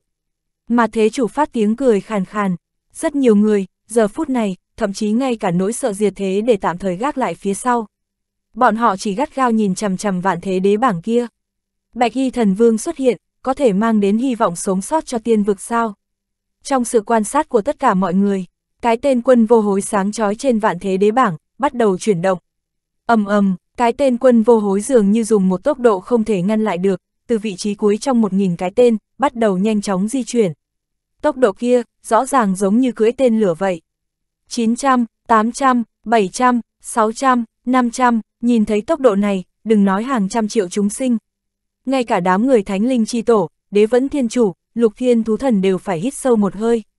Đôi mắt trường sinh đế tôn cũng chấn động, bởi vì quy tắc cửu thiên độc lập với tiên vực, bởi vậy những cửu thiên trí cường giả như bọn họ, không có tên trong bảng danh sách. Nhưng trường sinh đế tôn tự ước lượng, dựa vào thực lực thiên tư lúc mình chứng đạo thành đế. Nếu muốn đứng ở vị trí thứ 100 trong vạn thế đế bảng là điều không khó lắm. Đừng cảm thấy 100 tên quá mức lạc hậu, đây chính là đại diện cho 100 vị đế cảnh tồn tại mạnh nhất tiên vực từ xưa đến nay. Cổ kim vạn thế, chỉ có trăm người. chương 2057 lọt vào danh sách 100. chương 2057, lọt vào danh sách 100. Trường sinh đế tôn tự cân nhắc mình như vậy, đã coi như là rất có tự tin. Nhưng, xếp hạng của quân vô hối, vẫn tiếp tục tăng lên. 400, 300, 200, 100, quân vô hối đã lọt vào top 100, đồng nghĩa với việc ông ấy chính là một trong 100 người yên nghiệt nhất tiên vực từ xưa đến nay. Khắp nơi xôn xao, thiên địa chấn kinh, đứng trong danh sách 100 vị trong vạn thế đế bảng, quân gia lại thêm một người.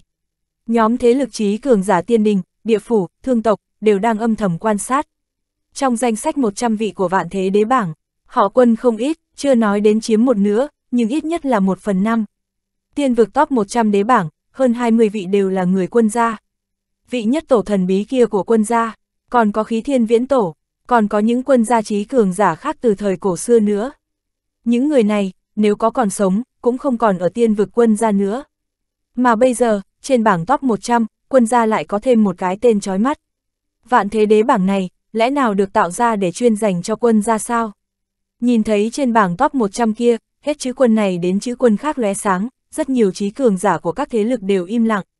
Vượt qua rồi, thần vương đại nhân, vượt qua vũ hóa thần triều khai quốc thái tổ, vũ hóa đại đế. Có người hét lên âm thanh kinh ngạc, Vũ hóa thần triều khai quốc thái tổ, vũ hóa đại đế, xếp hạng vị trí 95 trên vạn thế đế bảng, bị quân vô hối vượt qua rồi. Cường giả vũ hóa thần triều, thần sắc im lặng, mang theo vẻ phức tạp. Vũ hóa vương và vũ vân thường, cũng lộ ra vẻ phức tạp, trong lòng ngũ vị tạp trần. Bọn họ không biết là cảm giác đó là bởi vì quân vô hối, hay là bởi vì dòng dõi của quân vô hối có thể càng thêm yêu nghiệt hơn so với ông ấy. Quân huynh, sau này tên của huynh, cũng sẽ sáng chói trên vạn thế đế bảng này sao? Vũ hóa vương tự lẩm bẩm, lại vượt qua, vượt qua thủy hoàng đại đế của tần gia rồi. Cái tên quân vô hối vượt qua thủy hoàng đại đế của tần gia. Đám người tần gia trong lòng cũng vô cùng phức tạp, cái tên quân vô hối vẫn chưa dừng lại, vượt qua cả vô hối liên lão đại rồi. Nhị tổ quân lăng tiêu cười một tiếng, xếp hạng của quân vô hối, vượt qua vị nhất tổ thần bí kia của quân gia, đột phá vị trí thứ 50. Sau khi vượt qua vị trí thứ 50, cái tên quân vô hối mới bắt đầu dần dần chậm lại. Đám người lại ngước lên nhìn, bỗng nhiên hít thở không thông. Một cái tên mang theo vô biên bá khí, che đậy vạn cổ, đứng ngạo nghễ trong đó. Loạn cổ đại đế, xếp thứ 312, tiên vực cổ kim, vị đại đế mạnh đứng thứ 32. Loạn thiên động địa, cổ kim một người, đó là một cái tên không thể xóa đi được, nhưng, quân vô hối, vượt qua loạn cổ đại đế, điều đó cũng không có nghĩa là, quân vô hối hiện giờ có thể đè ép loạn cổ đại đế, mà là thực lực của quân vô hối lúc chứng đế, vượt qua thực lực của loạn cổ đại đế lúc chứng đế. Vạn thế đế bảng, so sánh thiên tư, thực lực, tiềm lực, chiến lực vân vân của tất cả trí cường giả khi chứng đạo thành đế. Vì thế điều này không đồng nghĩa với việc, hiện giờ quân vô hối mạnh hơn cả loạn cổ đại đế. Nhưng có đôi khi, tư chất cũng đại diện cho thành tựu sau này. Ngày sau quân vô hối có thể mạnh hơn loạn cổ đại đế là điều có xác suất rất lớn. Nhưng mà, cái tên quân vô hối vẫn chưa dừng lại.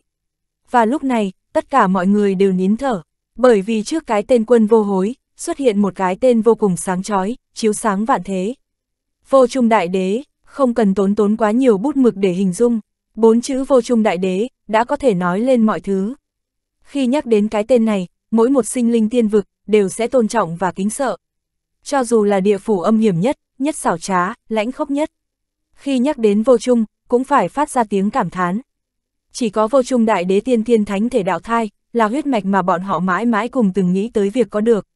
Mà vô trung đại đế xếp ở vị trí 50 trên vạn thế đế bảng. Vị trí này tuyệt đối là yêu nghiệt trong yêu nghiệt, tất cả mọi người đều phải cung kính mà đối đãi Bọn họ quả thực tôn kính, kính yêu vô trung đại đế. Nhưng quân vô hối, cũng đồng thời là một người can đảm và chân thành. Nhất khí hóa tam thanh, chân áp tam giới, bảo vệ tiên vực bình an. Cùng với quân tiêu giao, phụ tử đồng tâm, tự tay kết thúc ách hỏa chi kiếp. Vị trí của quân vô hối trong lòng chúng sinh tiên vực, không hề yếu hơn so với vô trung đại đế. Trong sự nín thở của tất cả mọi người, cái tên quân vô hối lặng yên vượt qua vô trung đại đế. Thiên địa vắng lặng, vạn vật im ắng, tất cả chúng sinh trong lòng rung động, giờ phút này không cách nào hình dung nổi. Nhưng điều duy nhất bọn họ biết chính là, nếu vô trung vẫn còn, nếu như ông ấy nhìn thấy cảnh này, nhất định sẽ mỉm cười. Kết thúc rồi sao? Một số người hít thở sâu một hơi, những rung động mà Bạch y Thần Vương mang tới, thật sự là rất rất nhiều. Nhưng sau đó phía quân gia lại lâm vào tĩnh mịch, bởi vì, cùng với sự chuyển động của cái tên quân vô hối. Ông ấy đã lên đến vị trí 11, mà người thứ 10 lại là vị vạn cổ nhất đế kia của quân gia, quân khí thiên, khí thiên đại đế, đây tuyệt đối là một truyền thuyết thần thoại mà quân gia cận cổ thời đại, không một ai có thể vượt qua được. Đây cũng là một tồn tại trụ cột, có thể kéo dài khí vận tuyệt đối cho quân gia vạn thế. Hiện tại, quân vô hối, tồn tại nghịch thiên nhất quân gia thời đại tân sinh. Đụng phải vạn cổ nhất đế mạnh nhất quân gia cận cổ. Ông ấy, liệu có thể vượt qua được không? Giờ phút này, người sốt sáng nhất, không phải là tiên vực vạn linh, mà là đám người quân gia, đặc biệt là Khương Nhu, nắm tay rất chặt, cho dù kết quả như thế nào, đây đều là vinh quang của quân gia bọn họ. Nhưng thân là thê tử của quân vô hối, tất nhiên Khương Nhu hy vọng, trưởng phu của mình, có thể vượt qua tổ tiên xa, khai sáng thần thoại mới. Giờ khắc này, ánh mắt quân tiêu giao, cũng chăm chú nhìn về phía đó. Thiên địa nín hơi, vạn vật nghẹn ngào, rốt cục, cái tên quân vô hối, lóe lên một cái, vượt qua quân khí thiên, xếp ở vị trí thứ 10 trong vạn thế đế bảng. Mà chín vị trí đứng đầu trong vạn thế đế bảng, quá mức sáng chói, lóa mắt đến mức khiến người khác không nhìn rõ được. Nhưng đó đều là tồn tại đỉnh phong từ xưa đến nay chương 2058 người thứ 10 cổ kim, quân tử lập mệnh, cả đời không hối hận. chương 2058, người thứ 10 cổ kim, quân tử lập mệnh, cả đời không hối hận. Có thể nói hiện giờ tiên vực, về cơ bản là không ai có thể nhìn thấy những tồn tại cao cấp nhất đó nữa. Mà quân vô hối, lại sống sờ sờ đứng trước mặt bọn họ, xuất hiện ở trong tầm mắt của bọn họ. Đây là một thần thoại sống, là một trong 10 tồn tại nghịch thiên đương thời trong vạn thế đế bảng. Thần vương vô địch, bạch y thần vương quét ngang đương thời. Vô hối thần vương, hãy chân áp náo loạn nhất thế này. Vô số tiếng reo hò, vô số tiếng gào thét, vang vọng cửu thiên tiên vực. Cho dù là đám người quân gia, cảm xúc tại thời khắc này đều đang bành trướng. Quân vô hối từng nói, không cần tìm kiếm viễn tổ, ta có thể vượt qua viễn tổ. Hiện giờ ông ấy thực sự làm được rồi. Phụ thân, cho dù luôn bình tĩnh nhưng giờ phút này quân tiêu giao cũng không thể ngăn được cảm xúc bành trướng, nhiệt huyết sôi trào. Phụ thân của hắn, đã làm được rồi, trở thành một trong 10 người mạnh nhất từ xưa đến nay. Ông ấy vượt qua vũ hóa đại đế, vượt qua thủy hoàng đại đế, vượt qua loạn cổ đại đế, vượt qua vô trung đại đế. Hiện giờ còn vượt qua cả vạn cổ vô song khí thiên đại đế.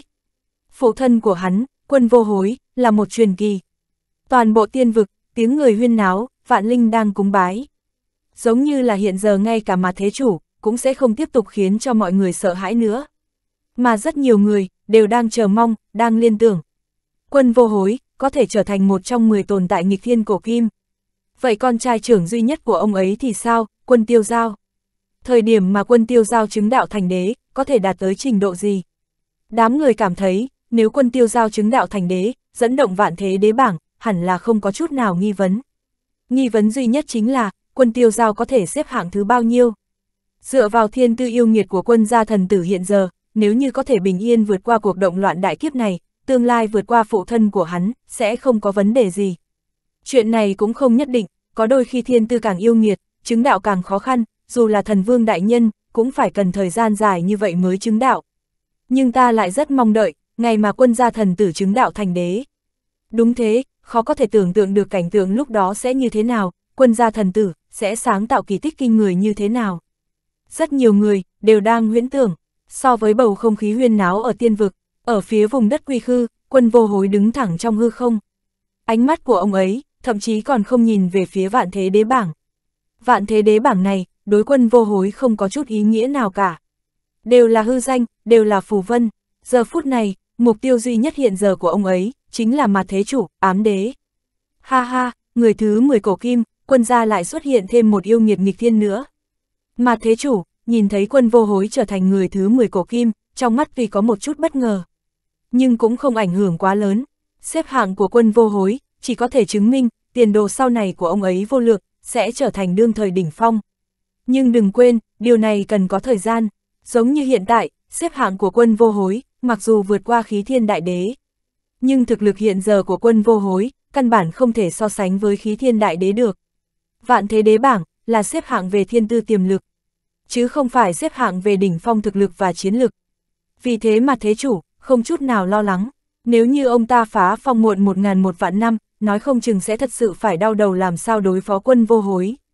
Nhưng ngược lại hiện giờ hoàn toàn không cần lo lắng, cho dù là hạt giống mạnh thế nào đi chăng nữa, nếu bóp chết ngay khi mới sinh ra, cũng không thể nào trở thành đại thụ che trời được. Thật đáng tiếc cho thiên tư của ngươi, mà thế chủ cười lạnh nói. Phụ thân, người hãy thận trọng, quân tiêu giao nói, mặc dù quân vô hối chứng đạo thành công, giờ phút này chiến lực bạo dạp, vượt xa đại đế thông thường. Nhưng dù sao thì đối thủ của ông ấy cũng là một trong tận thế tứ thiên khải, thực lực mạnh đến không cách nào tưởng tượng nổi. Cho dù là vô trung đại đế, hao phí thân thể tàn phế, dùng hết tất cả, cũng chỉ có thể khiến mà thế chủ bị thương mà thôi. Tiêu giao, con làm rất tốt, vi phụ tự hào vì con. Nhớ kỹ, con nhất định phải vượt qua vi phụ, vượt qua tổ tiên xa, trụ cột quân ra ngày sau chính là con. Quân vô hối, đứng chắp tay, một người độc đấu mà thế chủ ám đế. Ông ấy lại làm cho trái tim quân tiêu giao run lên. Lời này của quân vô hối, tại sao lại có cảm giác? Không chỉ có quân tiêu giao, tất cả mọi người còn lại nghe thấy những lời này, trong lòng đều trầm xuống. Ai, đáng tiếc không có thời gian, mà thế chủ xuất hiện không đúng thời điểm. Nếu như cho vô hối thời gian một ngàn năm nữa, để ông ấy củng cố tu vi, chắc chắn ông ấy có thể một mình phong ấn ma thế chủ. Phía bên quân gia, quân lăng tiêu thở dài một tiếng. Vô hối, chàng mau quay lại cho ta. Khương Nhu tâm can run lên, phát ra giọng nói tê tâm liệt phế. Quân vô hối, bàn tay hơi siết chặt, nhưng lại buông lỏng. Chu tiên tứ kiếm, lần lượt xếp ở phía sau, phát ra tiếng tranh kiếm ngân vang, tách ra ánh sáng vạn cổ kiếm mang. Quân vô hối không chút do dự, thần uy cái thế, chiến ý doanh tiêu, khí trùng đầu nghiêu. Quân tử lập mệnh, cả đời không hối hận. Giờ phút này, khí thế của quân vô hối hết sức hùng hậu, trời long đất lở. Cả vùng đất đổ nát đều đang run rẩy. Quân vô hối vốn chính là thần vương thể đương thời có một không hai. Lúc đối chiến với ách hỏa trung cực, thần vương thể của ông lại lần nữa thức tỉnh lột xác, biến thành thái sơ thần vương thể. Đây chắc chắn là một trong số những thể chất mạnh nhất thế gian, đánh khắp cổ kim bao la. Mái tóc đen của quân vô hối bay phấp phới, mắt sáng lập lòe, tư thế oai hùng phấn chấn, phong độ thần thái anh tuấn như ngọc. Ông có tư chất ngút trời, ba ngàn thần quốc vờn quanh thân thể làm nền, khiến ông tựa như vua của chúng thần. Không cần ban cho ngôi vua, quân vô hối sinh ra là để làm vua. chương 2059 quân vô hối chiến với mặt thế chủ. chương 2059 quân vô hối chiến với mặt thế chủ. Giết, trong miệng quân vô hối thốt ra tiếng giết, chấn động trời xanh. Bốn thanh chu tiên kiếm sau lưng quân ra bắn ra tiên quang vô tận. Sau khi quân vô hối chứng đạo thành đế, mặc dù mạnh đến mức không cách nào tưởng tượng, vượt xa đại đế, nhưng nếu thật sự so sánh với mà thế chủ thì át hẳn vẫn còn chênh lệch rất lớn. Nhưng trong tay quân vô hối có bốn thanh chu tiên kiếm. Đây chính là tiên khí sát phạt mạnh nhất quân gia. Trước đó, một thanh chu tiên kiếm đã có chiến lực mạnh nhất, có thể chấn nhiếp cửu thiên. Mà bây giờ, bốn thanh chu tiên kiếm cùng nhau xuất hiện, cái này tương đương với bốn cường giả mạnh nhất. Hơn nữa, nếu như sử dụng nguyên bộ thì uy lực còn mạnh mẽ hơn xa một thanh kiếm đơn lẻ rất nhiều. Chính là nhờ có bốn thanh chu tiên kiếm gia trì cho nên quân vô hối mới có thể chống đỡ đánh nhau với mặt thế chủ. Kiếm đạo kinh khủng giết sạch, kiếm khí cuồn cuộn vô tận như sông dài tuôn chảy, càn quét tới mặt thế chủ. Tay quân vô hối nắm bốn thanh chu tiên kiếm, tư thế đẩy oai hùng, khí thế chấn động thiên hạ, khiến cho trời trăng sao khắp bầu trời đều đang run lên bần bật. Ta có thể nhìn thấy kiếm ý như thế, độc cô kiếm thần, hay là nói độc cô thần, trong mắt lộ rõ vẻ xúc động lẫn sợ hãi. Cả đời hắn là kiếm, là đế vương trong kiếm, nhưng giờ phút này, quân vô hối tay nắm bốn thanh chu tiên kiếm lại giống như thực sự phát huy ra kiếm ý sát phạt hết sức tinh tế. Bốn thanh chu tiên kiếm của quân gia ngược lại là bảo bối tốt. Mà thế chủ cũng ra tay, nói thật, ngay cả gã cũng nhìn mà thèm bốn thanh chu tiên kiếm này. Đây khẳng định là trí bảo hiếm có trong thiên hạ, hơn nữa còn là vũ khí sát phạt cực đỉnh, có sức thu hút gã nhất. ầm, um, mà thế chủ giao thủ với quân vô hối. Tất cả mọi người đều giật mình chấn động, không ngờ quân vô hối lại thật sự một mình chống lại thủ đoạn của mặt thế chủ. Phải biết, vô trung đại đế trước đây, trong thời gian ngắn thăng lên đỉnh phong thì cùng lắm cũng chỉ có thể ở ngay mặt chống lại mặt thế chủ mà thôi. Mặc dù quân vô hối mượn lực lượng của bốn thanh chu tiên kiếm, nhưng điều này cũng đã đủ để chứng minh thiên tư của ông kinh khủng nhường nào. Thảo nào thần tử lại có thể lấn áp đương thời, được xưng là người đứng đầu thế hệ trẻ tuổi, đây là hổ phụ không sinh khuyển tử mà. Giờ phút này, trong lòng hàng tỷ sinh linh tiên vực đều dâng lên niềm khao khát. Nếu nói thần thủ hộ đã từng được vạn người tiên vực kính ngưỡng là đám người vô chung, loạn cổ thì bây giờ, bạch y thần vương quân vô hối chính là người mà bọn họ đón nhận. Ở vùng đất đổ nát tái khởi đại chiến khiến cho trời đất rung chuyển. Từ đầu đến cuối ám đế mà thế chủ đều hết sức rừng rưng. Mặc dù quân vô hối vốn cũng không phải là nhân vật ở trên kịch bản diệt thế của gã, nhưng nếu đã xuất hiện thì mà thế chủ cũng không ngại xóa đi. Một tay mà thế chủ đánh ra, đâm vào kiếm mang ngút trời của bốn thanh chu tiên kiếm. Một cái tay khác tấn công theo chiều ngang, bài xuất ra dòng sông huyết tế dài cuồn cuộn. Quân vô hối thấy vậy, đương nhiên không hề xem thường. Bàn chân dẫm mạnh, cả người dâng lên thần mang vạn trượng, tựa như ánh tà dương của chư thần sáng lấp lánh. Chính là chiêu thức mạnh mẽ của thần vương thể, hoàng hôn chư thần. Đối diện với mặt thế chủ một trong bốn căn nguyên chính của ngày tận thế, bất kỳ chiêu thức bình thường nào cũng đều không có tác dụng. Cho nên quân vô hối vừa bắt đầu đã sử dụng đại chiêu hủy thiên diệt địa. Ánh sáng hủy diệt trùng trùng điệp điệp giống như đại dương minh mông cuốn ra. Trời đất tan biến, sao trời vỡ vụn, ánh sáng hoàng hôn kia, phảng phất như muốn hoàn toàn chôn vùi tất cả trật tự, pháp tắc, vật chất, hóa thành hư vô. Hai loại lực lượng đâm vào nhau, cả trời đất đều sôi lên sùng sục. Mà ở trong va chạm cực hạn này, thân thể quân vô hối rung lên phát ra tiếng rung tựa như tiếng chuông. Ông dậm chân lùi lại mấy bước, vẻ mặt không hề có chút dao động. Ồ, mà thế chủ hơi có vẻ bất ngờ. Theo lý thuyết, tồn tại vừa mới chứng đạo thành đế ở trong mắt gã chỉ hơi lớn hơn con kiến một chút, nhưng cũng gần như là một con chuột bạch có thể tiện tay bóp chết. Có điều sự bền bỉ của quân vô hối lại nằm ngoài dự đoán của gã. Có chút y tứ, thế còn một chiêu này thì sao? Mà thế chủ cất tiếng cười ha ha, năm ngón tay gã xòe ra, chụp vào hư không một phát, lực huyết tế vô cùng vô tận tập trung lại, giống như đan vào nhau tạo thành một cái ấn diệt thế lớn. Một làn sóng hủy diệt chập chờn từ trong chấn động đi ra, khiến cho hư không xung quanh đổ sập, rơi vào chôn vùi bên trong hỗn loạn. Mà thế thiên phạt ấn, cuối cùng mà thế chủ thi triển ra thần thông, phải biết, bản thân mà thế chủ không biết là tồn tại đã sống bao lâu rồi. Cộng thêm bản thân gã ẩn ở đằng sau bức màn, không biết đã siêu tầm được bao nhiêu thần thông tiên kinh mạnh mẽ. Trước đó những thứ mà đế hạo thiên tu luyện, hỗn nguyên thần ma tiên kinh đó vân vân, cũng là gã truyền lại cho. Mà mà thế chủ tập hợp sở trường của nhiều nhà lại, thì triển ra thần thông hủy diệt, uy lực tất nhiên không cần phải nói nhiều. Ấn mà thế, một ấn ép xuống, thật giống như là muốn kéo thế gian đi đến tận thế. Chỉ mỗi luồng khí áp kia mà đã giống như muốn đè toàn bộ vùng đất đổ nát xuống. Có thể nói, cho dù là tồn tại cấp thần thánh linh chi tổ, giờ phút này mí mắt cũng đang giật mạnh. Nếu như là bọn họ đối diện với một chiêu này, đoán chừng kết quả sẽ rất khó coi. Phụ thân, tâm trạng của quân tiêu giao hơi xáo động, giờ phút này, đáy lòng của hắn xác thực hơi không cam lòng, hận bản thân mình tu luyện còn chưa đủ nhanh, thực lực còn chưa đủ mạnh, nếu không thì cũng sẽ không cần phải mỗi lần đều để cho quân vô hối một mình chịu đựng tất cả. Vô hối, bên phía quân gia, tâm trạng của Khương Nhu cũng căng thẳng lên, bà chắp hai tay lại, đang cầu nguyện, trong mắt đã rưng rưng.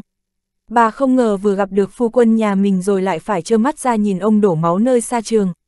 Nhưng quân vô hối đối diện với thần thông diệt thế của mà thế chủ, nét mặt vẫn không hề thay đổi, vẫn bế nghễ như cũ.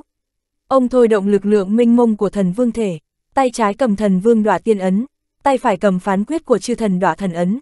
Ông giống như nắm trời trăng trong tay quay vòng, khí thế mạnh đến càn khôn cũng phải đảo ngược.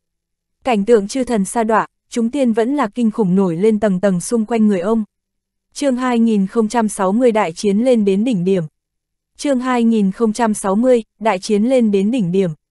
ầm ầm quân vô hối chống ngược đi lên, quét ngang không trung, đón đỡ một ấn của mặt thế chủ. Dầm, tựa như núi lớn hàng tỷ quân nghiền ép xuống, lực lượng hủy diệt đó đã trôn vùi hết thảy xung quanh. Thân thể quân vô hối rung lên dữ dội, hổ khẩu trong nháy mắt bị chấn rách ra. Trong miệng ông cũng không nhịn được trào ra một ngụm máu tươi, nhuộm đỏ cả vạt áo, chấm chấm hoa đào. Phụ thân, vô hối, thần vương đại nhân, giờ phút này quân tiêu giao, Khương Nhu, mọi người quân gia, còn có hàng tỷ thương sinh tiên vực đều giật mình hốt hoảng. Bóng tối vô cùng vô tận, lực huyết tế đỏ tươi vô cùng vô tận chẳng mấy chốc đã che khuất thân mình của quân vô hối. Bốn thanh chu tiên kiếm đồng loạt run rẩy, một trưởng của mặt thế chủ đang gắt gao áp chế lực lượng của chúng nó, không để cho chúng nó đến cứu viện. Ha ha, người xếp thứ 10 cổ kim đã bị bóp chết ở trong tay bản tọa. Mặt thế chủ cất tiếng cười, cho dù người có là người xếp thứ 10 cổ kim đi nữa thì trước khi chưa hoàn toàn trưởng thành, vẫn như cũng là châu chấu đá xe mà thôi. Phụ thân, huyết dịch toàn thân quân tiêu giao sôi lên, hắn bắt đầu dung nhập thượng thương hắc huyết trong vũ trụ bên trong vào trong pháp thân thần linh. Cho dù có rơi vào điên loạn thì hắn cũng không thể ngồi nhìn. Nhưng đúng vào lúc này, ở chính giữa bóng tối mờ mịt đỏ tươi nhấp nháp đó, đột nhiên có từng tia từng tia sáng rực rỡ trói mắt từ đó bắn ra, phảng phất như là hy vọng từ trong bóng đêm phá kén mà ra. Hả, trên gương mặt biến ảo cả ngàn khuôn mặt của mặt thế chủ lộ ra vẻ giật mình. Không ai có thể dập tắt hết mọi tia lửa trên thế gian.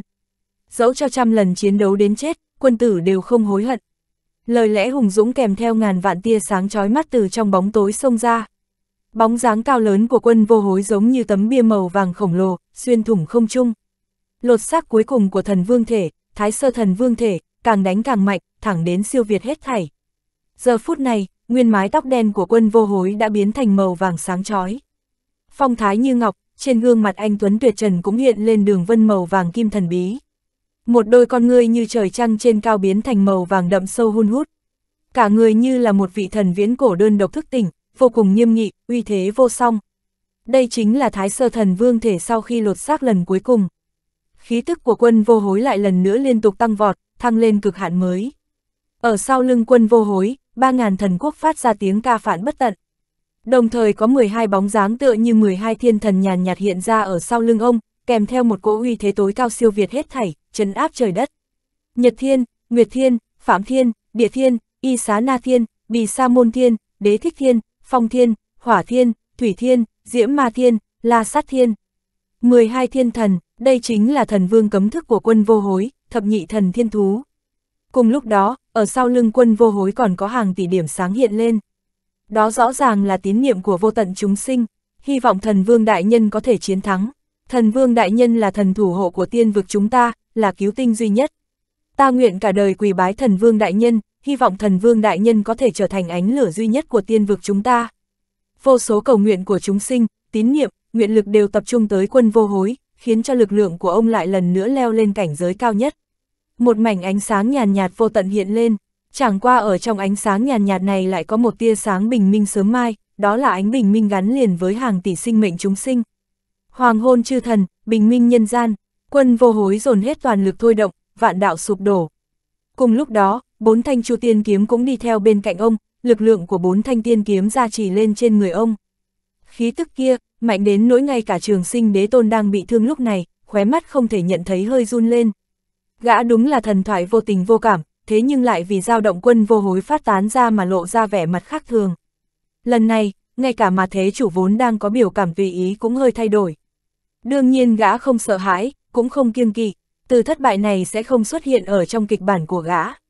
Nhưng quân vô hối ở trước mắt quả thật đã khiến cho gã hoàn toàn bất ngờ. ầm ầm, mà thế chủ lại lần nữa đưa tay ra, vận dụng lực lượng chân chính. Điều này chứng minh quân vô hối ở trong mắt gã cũng không phải là chuột bạch nhỏ có thể tùy tiện đùa giỡn, mà là tồn tại giống như vô trung đại đế, có thể uy hiếp được gã. Mái tóc màu vàng óng của quân vô hối bay phấp phới, trong mắt bắn ra thần khí vạn trượng. Ông dùng chu tiên kiếm mở đường, ngăn cản lực huyết tế của mặt thế chủ. Thập nhị thiên thần thú đồng thời bao vây mặt thế chủ. Hoàng hôn chư thần, bình minh nhân gian, ánh sáng vĩnh hằng đáp thẳng tới mặt thế chủ. Xèo, tiếng lửa cháy ăn mòn dữ dội phát ra, bả vai của mà thế chủ hoàn toàn bị đánh nát, mưa máu đỏ rơi bay tứ tung. Tự tìm đường chết, giọng nói quỷ dị của mà thế chủ vang dội, lực lượng vô cùng khủng khiếp phủ xuống, quân vô hối bị chấn đến cả người rung lên, lại lần nữa phun ra một ngụm máu tươi. Nhưng ông lại trở tay tự bảo thập nhị thiên thần thú. Gợn sóng mãnh liệt bắn ra, mà thế chủ lại lần nữa chấn động. Quân vô hối trở tay khống chế chu tiên kiếm, một kiếm đảo ngược trời xanh, kiếm quang sáng chói, tựa như phá vỡ vĩnh hằng. Phập, một cánh tay đã bị kiếm quang chặt xuống. Quân vô hối, ngươi, mà thế chủ đã thực sự nổi giận, một cánh tay của gã lại bị chu tiên kiếm chặt đứt. Chuyện này với gã mà nói, mặc dù cũng không phải là thương tích chí mạng. Chẳng qua tính tổn thương không lớn nhưng tính sỉ nhục lại cực mạnh. Gã còn là một trong tứ kỵ sĩ Khải Huyền, bàn tay tội ác đằng sau bức màn thế gian. Loại thương tích này với gã mà nói, hoàn toàn là một loại sỉ nhục. Thiên địa đáng diệt, diệt thế huyết lôi, mà thế chủ nổi điên gào lên, cả trời đất đều giống như muốn nứt ra. Sấm chớp đỏ như máu trùng trùng điệp điệp rội xuống, đó là diệt thế huyết lôi chân chính, như thác nước chiều dâng. chương 2061 mà thế chủ lại bị thương, đại trận huyết tế. chương 2061, mà thế chủ lại bị thương, đại trận huyết tế. ầm ầm mặc dù bên ngoài thân thể quân vô hối có hào quang vô tận của thần vương thể bao quanh, bảo vệ thân thể ông. Nhưng ông vẫn như cũ bị đẩy lùi.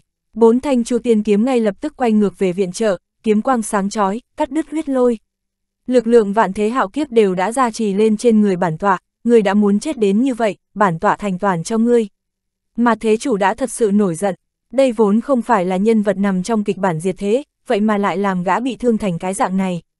Đây vốn là đại trận huyết tế thế gian, bây giờ trước hết dùng ở trên người ngươi. Cánh tay bị đứt lìa của mà thế chủ đang nhanh chóng ngưng kết, biến ra một cánh tay mới. Hơn nữa gã còn tế ra đại trận khủng khiếp, tế đàn bất hủ sinh ra biến động khác thường, bắn ra một chùm sáng màu đỏ tươi. Chùm sáng kia rơi vào hư không, chia ra ngàn vạn tia, giống như bện thành một cái lồng giam, nhốt quân vô hối vào trong đó. Đây là đại trận huyết tế, nếu như mà thế chủ dồn hết toàn lực thôi động thì thậm chí có thể bao trùm cả một phương tiên vực, ngay cả toàn bộ cửu thiên tiên vực. Tất cả sinh linh bị bao bọc ở trong đại trận huyết tế sẽ trong khoảnh khắc bị chôn vùi vẫn lạc. Tất cả tinh thần của sinh mệnh, tâm trạng tiêu cực, tuyệt vọng vân vân, đều sẽ bị mà thế chủ hấp thu. Đây là thủ đoạn diệt thế của gã. Giờ phút này, lại dùng ở trên người một mình quân vô hối trước. Một người lại có thể khiến cho bản tỏa tế ra đại trận huyết tế, cho dù người có chết thì cũng đủ để lưu danh vạn cổ rồi. Mà thế chủ nhìn quân vô hối đang bị kẹt ở trong đại trận huyết tế, cất tiếng cười lạnh. Tuy lực lượng mà gã tích lũy cũng đang nhanh chóng tiêu hao, nhưng chỉ cần giết chết quân vô hối thì tiên vực sẽ không còn tồn tại nào dám ngăn cản hắn. Trong đại trận huyết tế, toàn thân quân vô hối dâng lên hàng vạn tia sáng thần thánh, đang chống lại luyện hóa của đại trận huyết tế. Mà ở bên ngoài đại trận huyết tế, bốn thanh chu tiến kiếm lại không cách nào lọt vào bên trong trận. Bọn chúng đều đang liều mạng phóng thích kiếm mang, đáp xuống trên đại trận huyết tế, như muốn chém rách. Nhưng trong thời gian ngắn ngủi, không có người nắm giữ điều khiển bọn chúng, đương nhiên rất khó phá vỡ. Đại trận huyết tế này sẽ từng chút từng chút một luyện hóa thân xác ngươi, luyện hóa linh hồn ngươi. Vừa vặn để cho quân ra các ngươi nhìn xem, người xếp thứ 10 cổ kim ngươi bị chôn vùi ở trong tay bản tỏa ra sao. Mà thế chủ vừa nói xong lại lấy ra một quyển sổ. Đó chính là kịch bản diệt thế của gã. Tất cả mưu đồ, tất cả tính toán, tất cả tưởng tượng của gã, bao gồm cả dự tính đen tối nổi loạn đều ghi chép ở trong đó. Cứ để cho bản tỏa thay ngươi vết xuống kết cục đi, người xếp thứ 10 cổ kim, chết ở trong đại trận huyết tế. Mà thế chủ nhấc bút, lập tức viết xuống. Không, bên hướng quân gia tiên vực truyền đến tiếng gào đau xé ruột gan của Khương Nhu. Nước mắt ở trên mặt bà ào ào rơi xuống, Khương Như tê liệt ngã xuống đất. Tấm thân đại trượng phu này hứa với quốc gia, khó lại hứa với gia đình. Vì tu luyện, vì bảo vệ tiên vực, hàng năm quân vô hối đều ở bên ngoài. Khương Nhu lại cam nguyện chịu đựng cô độc, bởi vì bà biết, phu quân của bà là một đại anh hùng. Nhưng bây giờ, Khương Nhu nhìn quân vô hối ở trong đại trận huyết tế đó, lòng đau như đau xoắn. Thực lực còn chưa đủ sao, quân vô hối đang ở trong đại trận huyết tế nghe được tiếng gào của Khương Nhu, thở dài một tiếng. Thật ra thì ông đã đủ mạnh, giống như vô trung đại đế làm mà thế chủ bị thương. Đây là chuyện mà đại đế ngay cả nghĩ cũng không dám nghĩ. Nhưng mà, cho dù quân vô hối có thiên tư nghịch thiên đi nữa thì suy cho cùng cũng cần thời gian tu luyện. Thời gian của ông quá ngắn, bây giờ điều duy nhất có thể làm là vì quân tiêu giao, còn có tất cả mọi người tranh thủ thời gian. Quân vô hối nghĩ thầm trong bụng, ngay cả đến lúc này, quân vô hối vẫn không hề tuyệt vọng, không hề sợ hãi cái chết mà chỉ muốn làm sao bảo vệ con cháu người nhà của mình, còn có chúng sinh tiên vực. Nhưng đúng lúc này, một giọng nói lạnh lùng đến cực độ đột nhiên vang lên. Mà thế chủ, trong kịch bản diệt thế mà ngươi soạn viết nên, có lẽ đã thiếu ta rồi. Chẳng lẽ ngươi chưa từng nghĩ tới, kẽ hở duy nhất này sẽ khiến cho toàn bộ kịch bản của ngươi đều biến thành cho bụi sao. Quân tiêu giao bước ra một bước, mặt mũi lạnh lùng tàn khốc, lộ rõ ý muốn giết chóc. Hắn là vận mệnh hư vô giả, dị loại mà mà thế chủ chắc chắn không thôi diễn tới. Bản thân quân tiêu giao chính là cửa khẩu duy nhất để phá vỡ cái kịch bản diệt thế này. Ánh mắt ám đế mà thế chủ nhìn sang quân tiêu giao, không thể không nói, tuy ngoài pháp thân thần linh ra, quân tiêu giao ở trong mắt gã xác thực giống như là con kiến hôi bình thường. Thế nhưng hắn lại là tồn tại duy nhất mà thế chủ không tính ra được. Mà thế chủ cũng lờ mờ đoán được quân tiêu giao đến cùng có lai lịch gì. Gã hơi ngạc nhiên trong bụng, nhưng ngoài mặt thì vẫn hờ hững như cũ. Kể cả ngươi có gì đó đặc biệt đi nữa thì con kiến chính là con kiến. Cho dù ngươi có là một con kiến đặc biệt thì cũng không có cách nào thay đổi được kết cục mà bổn tọa viết xuống. Một trưởng của mà thế chủ dò tới quân tiêu giao, muốn hủy diệt hắn. Tiêu giao, mau rời khỏi đây. Mái tóc vàng của quân vô hối tung bay, trong mắt bắn ra ánh sáng chấn nhiếp lòng người. Ông đang chống lại đại trận huyết tế, muốn xé nát nó để đến bảo vệ quân tiêu giao. Nhưng đại trận huyết tế này chính là đại trận dùng để luyện hóa vạn linh tiên vực, hơn nữa còn dẫn theo toàn bộ lực lượng của tế đàn bất hủ, dù cho quân vô hối có mạnh hơn nữa thì cũng không cách nào đột phá trong khoảng thời gian ngắn được. Quân tiêu giao thấy thế, cũng giống như phụ thân của hắn, trên mặt không hề có mảy may sợ hãi. Hắn trực tiếp dung hợp lực lượng của thượng thương hắc huyết và pháp thân thần linh với nhau. Ngay lập tức, một cỗ lực lượng bóng tối vô biên truyền khắp pháp thân thần linh. Cứ như là một giọt mực nước nhỏ vào bên trong nước trong, loang rộng ra. chương 2062 Chư Thiên Lục Táng, tiếp viện mạnh mẽ đánh tới. chương 2062, Chư Thiên Lục Táng, tiếp viện mạnh mẽ đánh tới. Pháp thân thần linh của quân tiêu giao vốn đang vô cùng rực rỡ lại bỗng nhiên lan ra ma văn màu đen. Đây giống như là sự kết hợp của thần và ma, một cỗ lực lượng vô biên bộc phát ra. Cái này không chỉ có lực tín ngưỡng, lực huyết tế mà còn có cả lực lượng của thượng thương hắc huyết. Pháp thân thần linh đã chính thức tiến vào hình thức hắc ám. ầm ầm, trong một ý niệm của quân tiêu giao, thần ma hợp nhất. Bóng tối biên và lạnh giá xâm nhập vào, làm ô nhiễm nguyên thần của quân tiêu giao. Nhưng nguyên thần của quân tiêu giao trước mắt mạnh mẽ nhường nào, tín niệm cũng hết sức kiên cố. Hắn phải cứu phụ thân của hắn ra, hắn phải bảo vệ mọi người bên cạnh. Tín niệm này là thứ mà thượng thương hắc huyết không cách nào giấy bẩn được.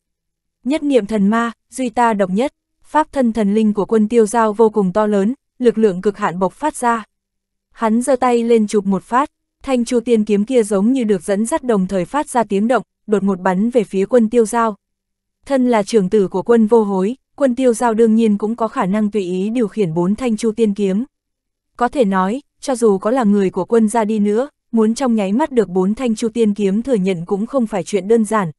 Bây giờ ở quân gia cũng chỉ có cha con quân vô hối và quân tiêu giao mới có khả năng nắm giữ bốn thanh chu tiên kiếm mọi lúc mọi nơi. Đây là bởi vì cha con hai người đều đã được bốn thanh chu tiên kiếm chấp nhận. Giờ phút này, pháp thân thần linh của quân tiêu giao thần ma hợp nhất, đánh tới mặt thế chủ. Từ đầu đến cuối, mà thế chủ hiếm khi lộ vẻ ngạc nhiên. Cỗ lực lượng đó, sao có thể, ngươi làm sao có được được cỗ lực lượng đó. Mà thế chủ sửng sốt, do thượng thương hắc huyết kia có nguồn gốc bất phàm, khiến cho ngay cả gã cũng phải âm thầm khiếp sợ. Như vậy thì càng phải trấn áp ngươi, tinh lọc cỗ lực lượng đó ra. Lúc này mà thế chủ đã thực sự nghiêm túc muốn làm thật. Bởi vì do thượng thương hắc huyết đó có sức hấp dẫn cực lớn với gã. Vạn thực huyết hà, trong lúc ám đế mà thế chủ giơ tay nhấc chân, lực huyết tế vô tận cuồn cuộn dâng trào, táng trời diệt đất. Có thể nói, nếu như gã nghiêm túc thì chỉ cần một chiêu tùy ý đã đủ để tiêu diệt hàng tỷ sinh linh rồi. Còn quân tiêu giao, tay cầm bốn thanh chu tiên kiếm, hàng vạn sợi kiếm quang bắn ra, xé rách huyết hà. Cùng lúc đó, bản thân hắn cũng thi triển ra chiêu thức vô cùng khủng khiếp, chưa từng thi triển ra bao giờ. Một cỗ lực lượng hùng vĩ vô song dâng lên, kéo theo khí tức kinh khủng táng diệt chư thiên. Mai táng núi sông, mai táng trời trăng, mai táng trời đất, mai táng chúng sanh, mai táng luân hồi, mai táng chư thiên, chính là pháp trung cực, chư thiên lục táng. Đây vốn là diệt thế đại pháp mà ách họa trung cực ban cho diệt thế lục vương. Nói cách khác, cái này là cũng giống như đại trận huyết tế của mặt thế chủ, đều là đại thuật kinh khủng hủy diệt tiên vực. Chư thiên lục táng cần phải có 6 cường giả mạnh nhất cùng nhau khởi động. Nhưng quân tiêu giao trước mắt đã thôi động lực lượng pháp thân thần linh lên đến mức độ cao nhất, còn trồng thêm cả lực lượng của thượng thương hắc huyết. Một người trực tiếp thi triển ra thần thông diệt thế vốn cần phải có 6 người mạnh nhất mới có thể thi triển ra được. Theo một chiêu này thi triển ra, cả trời đất đều phải lay chuyển. Làn sóng dao động hủy diệt đó, quả thực cảm giác như là ách họa trung cực lần nữa xuất hiện. Nhưng bây giờ, pháp diệt thế vốn thuộc về ách họa trung cực này lại dùng để đối phó một trong tứ kỵ sĩ Khải Huyền, ám đế mặt thế chủ. Lại là pháp của ách họa sao?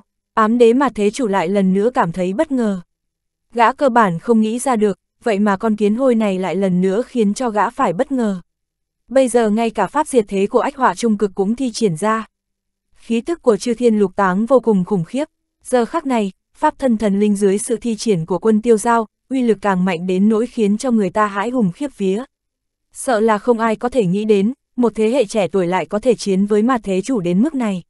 Lần trước cũng vậy, cuối cùng là thần tử đánh bại ách hỏa trung cực, cứu vớt thiên vực, lẽ nào lần này cũng như vậy sao? Hy vọng thần tử có thể lần nữa sáng tạo ra một kỳ tích. Vô số người đều đang cầu nguyện, tín niệm của vạn linh đang gia trì. Vùng đất đổ nát đã hỗn loạn tới cực điểm, pháp tắc băng liệt, trật tự vỡ vụn, chỉ có làn sóng diệt thế đang bùng lên.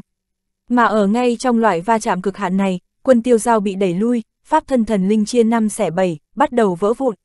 Thân thể quân tiêu giao khó chịu, giống như phụ thân của hắn, từng giọt từng giọt máu tươi rơi trên vạt áo trắng như tuyết. Như hoa mai điểm tuyết, lạnh lẽo thê lương tiêu điều. Nhưng vẻ mặt quân tiêu giao lại hờ hững như thể không hề bận tâm đến thương tích ở trên người mình. Ở bên kia, mà thế chủ cũng hiện ra, khí tức của gã đang không ổn định, rất dễ nhận thấy gã lại lần nữa hứng chịu một ít tổn thương trong lần va chạm này. Dù sao chư thiên lục táng cũng là pháp của ách họa trung cực, mạnh như mà thế chủ cũng không thể hoàn toàn phớt lờ. Nhưng nói tóm lại, từ đầu đến cuối gã đều lớn mạnh, đứng sừng sững ở trên hư không. Ngươi, đúng là đã cho bản tỏa quá nhiều bất ngờ. Nhưng tiếc là, kẻ mạnh thì sống, kẻ yếu thì chết, đây là kết cục mà ngươi không cách nào thay đổi được. Nhưng nếu như ngươi nguyện ý xa vào bóng tối, đứng về phía bản tỏa bên này thì nói không chừng, bản tỏa sẽ để cho ngươi trở thành người thống trị tiên vực. Cho tới bây giờ, biểu hiện của quân tiêu giao thậm chí còn khiến cho mà thế chủ sinh ra một chút ý yêu tài. Đây quả thực là một dị loại vạn cổ chưa từng có, phảng phất như là yêu nghiệt không nên tồn tại ở thế gian. Ánh mắt của vô số người đều dồn về phía quân tiêu giao. Ở tình huống này, cục diện tiếp theo gần như đã định. Nếu như đổi lại là những người khác thì nói không chừng sẽ thực sự dao động. Dù sao có thể sống sót rồi còn có thể trở thành người thống trị tiên vực, điều kiện này cũng không tệ. Nhưng quân tiêu giao lại đột nhiên bật cười. Thế nào, chẳng lẽ cảm thấy điều kiện không đủ, thế sau này bản tọa hủy diệt một giới nào thì một giới đó có thể lập tức thuộc về sở hữu của ngươi, thấy sao? Mà thế chủ bình thản nói, chương 2063 chư thiên lục táng, tiếp viện mạnh mẽ đánh tới. chương 2063, chư thiên lục táng, tiếp viện mạnh mẽ đánh tới. Quân tiêu giao hít sâu một hơi, lắc đầu, đã mất đi hết thảy, cho dù có đứng ở trên đỉnh cao nhất thì sao? Hơn nữa, phụ thân của ta đã từng dạy ta, quân tử lập nên số phận, cả đời không hối hận. Nếu như hối hận, vậy thì quân tiêu giao ta sẽ không còn là quân tiêu giao nữa. Được, đã như vậy, bản tọa sẽ để cho phụ thân ngươi tự sát chết ở trước mặt ngươi, để xem niềm tin của ngươi có còn kiên định nữa hay không. Nét mặt ám đế mặt đế chủ lạnh xuống, đại trận huyết tế được thôi động lên đến cực hạn, cố áp lực kia, ngay cả đại đế rơi vào trong đó đều sẽ bị nghiền nát ra thành bọt máu trong nháy mắt. Nhưng quân vô hối thì lại đang ngồi xếp bằng ở trong hư không, như một tôn thần linh. Ông nhìn quân tiêu giao, trong mắt có một chút vẻ vui mừng. Đây là con cháu của ông, khiến cho ông tự hào. Bàn tay quân tiêu giao nắm bốn thanh kiếm, đang định tiếp tục giết ra. Hắn không thể nào trơ mắt ra nhìn quân vô hối vẫn lạc ở ngay trước mặt hắn. Giờ phút này, hô hấp của tất cả mọi người đều dừng lại. Nếu như Bạch Hy Thần Vương quân vô hối thật sự bỏ mình, đó không thể nghi ngờ là một sự đả kích với lòng tin tiên vực. ầm, um, vào giờ khắc này, cả cửu thiên tiên vực đột nhiên bắt đầu rung chuyển. Ngay khi tất cả mọi người còn chưa rõ ràng cho lắm, hư không cửu thiên tiên vực thình lình rung chuyển dữ dội. Ở trong ánh mắt rung động của vô số người, tại chỗ sâu trong hư không kia bất chợt vặn vẹo giống như là bị lực lượng vô biên nào đó bẻ cong. Sau đó hư không giống hệt như tờ giấy, bị xé rách ra thành hai nửa. Mà ở bên kia hư không là một không gian hỗn loạn không cách nào tưởng tượng được, kèm theo quy tắc trời đất không giống với cửu thiên tiên vực. Một bàn tay pháp tắc lớn che khuất bầu trời không cách nào tưởng tượng được thò ra, vỗ một trưởng xuống vùng đất đổ nát. ầm, um, tế đàn bất hủ cao ngất như trụ trời, kiên cố như tiên kim trực tiếp bị một trưởng biến thành bụi bặm. Lặng ngắt như tờ, cả cửu thiên tiên vực yên tĩnh đến mức ngay cả tiếng kim rơi cũng cố thể nghe thấy được. Tế đàn bất hủ cao vút trong mây, còn kiên cố hơn cả tiên kim. Chính là trang bị quan trọng nhất để ám đế mà thế chủ thu gom lực lượng chúng sinh, biến thành lực huyết tế. Kết quả bây giờ lại bị bàn tay to thần bí kia một trưởng nghiền nát. Đây là lực lượng vô thượng nhường nào. Phải biết, cho dù là đại đế dốc hết toàn lực ra tay thì dám chắc cũng không có khả năng một lần đánh nát tế đàn bất hủ. Đây là điều không cách nào tưởng tượng nổi. Hả, đây, giờ phút này, mạnh như ám đế mà thế chủ cũng phải sừng sờ cực độ, hết sức ngoài ý muốn. Mà theo sự sụp đổ của tế đàn bất hủ, cái đại trận huyết tế kia cũng ngay lập tức mất đi lực lượng. Quân vô hối thấy thế, cả người phát ra hào quang vạn trượng, xông thẳng ra. Áo trắng trên người ông đã nhuốm máu, mang theo thương tích, khóe miệng cũng có máu tươi chảy xuống. Nhưng ánh mắt ông vẫn bế nghễ như cũ, đứng ở trước người quân tiêu giao. Phụ thân, quân tiêu giao thở vào một hơi nhẹ nhõm, quân vô hối khẽ gật đầu. Đúng rồi, đó là, quân tiêu giao nhìn về hướng cái khe nứt hư không kia. Có lẽ là vị đó, ở trong mắt quân vô hối cũng lộ ra một chút vẻ kính trọng. Quân tiêu giao đã rõ, tâm trí cũng hoàn toàn chấn động. Hắn đã biết vị đó là ai, chính là vị vạn cổ nhất đế huy hoàng nhất thời kỳ cận cổ của quân gia. Khí thiên đại đế, quân khí thiên, ầm ầm, ở bên phía khe nứt hư không có tiếng bước chân vang lên. Mỗi một bước đều như dẫm lên trên trái tim của chúng sinh, khiến cho cả cửu thiên tiên vực đều đang run lẩy bẩy. Đó là một cỗ lực lượng vô biên, chỉ uy áp thôi đã khiến cho cả tiên vực phải dùng mình run rẩy.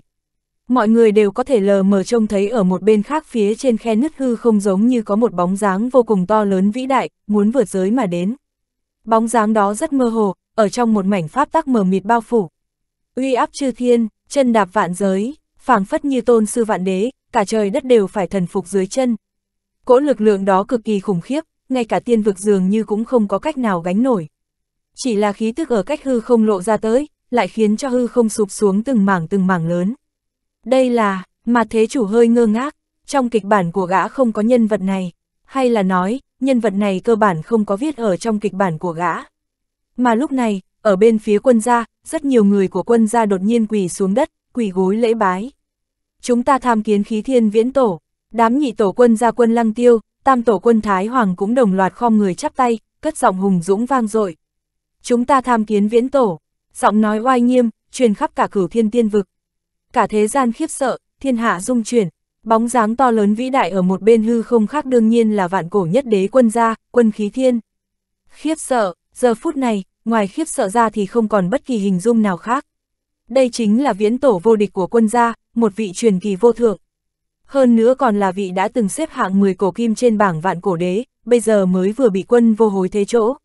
Nhưng luận thực lực hiện tại, quân vô hối rõ ràng là kém khí thiên đại đế xa tít tắp. Quân khí thiên, sao người có thể xuất hiện ở đây được? Ám đế mà thế chủ không nhịn được quát lên, nhân vật này không được phép tham gia cửu thiên tiên vực, đây là quy định của Minh ước Thái Cổ, cũng là quy tắc vững chắc như sắt. Quân khí thiên ở một bên hư không vô tận, y như thần linh đến trái đất trong truyền thuyết. Mỗi một bước ông ấy bước ra đều cuốn lên gợn sóng vô tận, truyền đến tiên vực bên này, khiến cho trời đất đều phải sụp đổ đây cũng không phải giống như đối chiến với ách hỏa trung cực trước đó. Khi đó quân vô hối chỉ triệu hồi ra một sợi chân linh của quân khí thiên mà thôi. chương 2064 vạn cổ nhất đế quân gia. chương 2064 vạn cổ nhất đế quân gia. Mà lúc này, ở bên một bờ hư không khác, đó chính là chân thân của quân khí thiên chứ không phải chân linh. Đối diện với chất vấn của ám đế mà thế chủ, quân khí thiên không nói tiếng nào, ông ấy tiếp tục cất bước, giống như muốn vượt ngang không gian vô tận, giáng lâm xuống cửu thiên tiên vực, chấp áp mà thế chủ. Nhưng đúng vào lúc này, ở cửu thiên tiên vực, vô số pháp tắc từ trong hư không hiện ra. Cái này giống như là một loại cơ chế bản năng, không cho phép tồn tại quá mạnh phá vỡ vách giới tiên vực. Về phần mà thế chủ, tuy gã cũng mạnh tới cực hạn.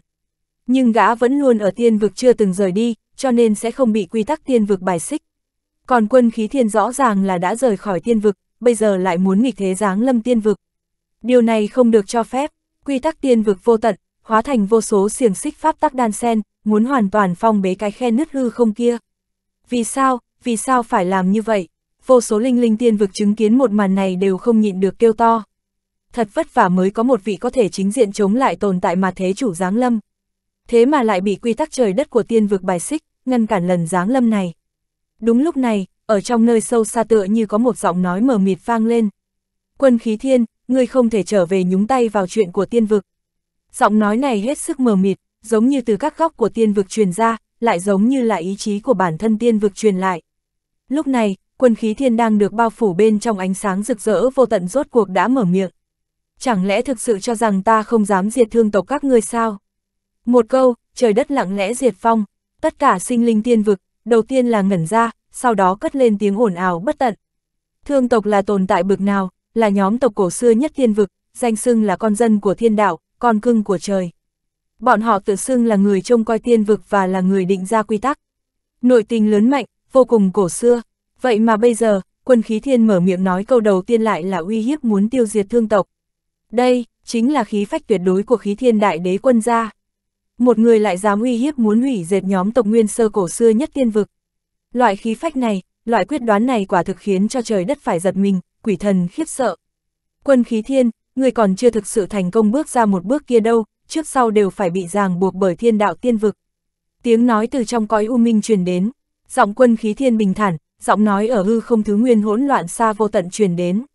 Ước thúc à, trời nếu không theo, ta lệnh bỏ trời, trời của tiên vực này là do quân gia ta định đoạt. Vẫn là khí phách tuyệt đối như cũ, vẫn là tự tin tuyệt đối như cũ. Cách nói chuyện này cũng không phải là cố tình sắc sược, và lại giọng điệu còn tự nhiên như vậy. Hư, trong hư không truyền đến tiếng hừ lạnh, như trời xanh nổi giận. Trật tự thần liên vô tận, phù văn pháp tắc nổi lên, muốn lấp lại khe nứt hư không.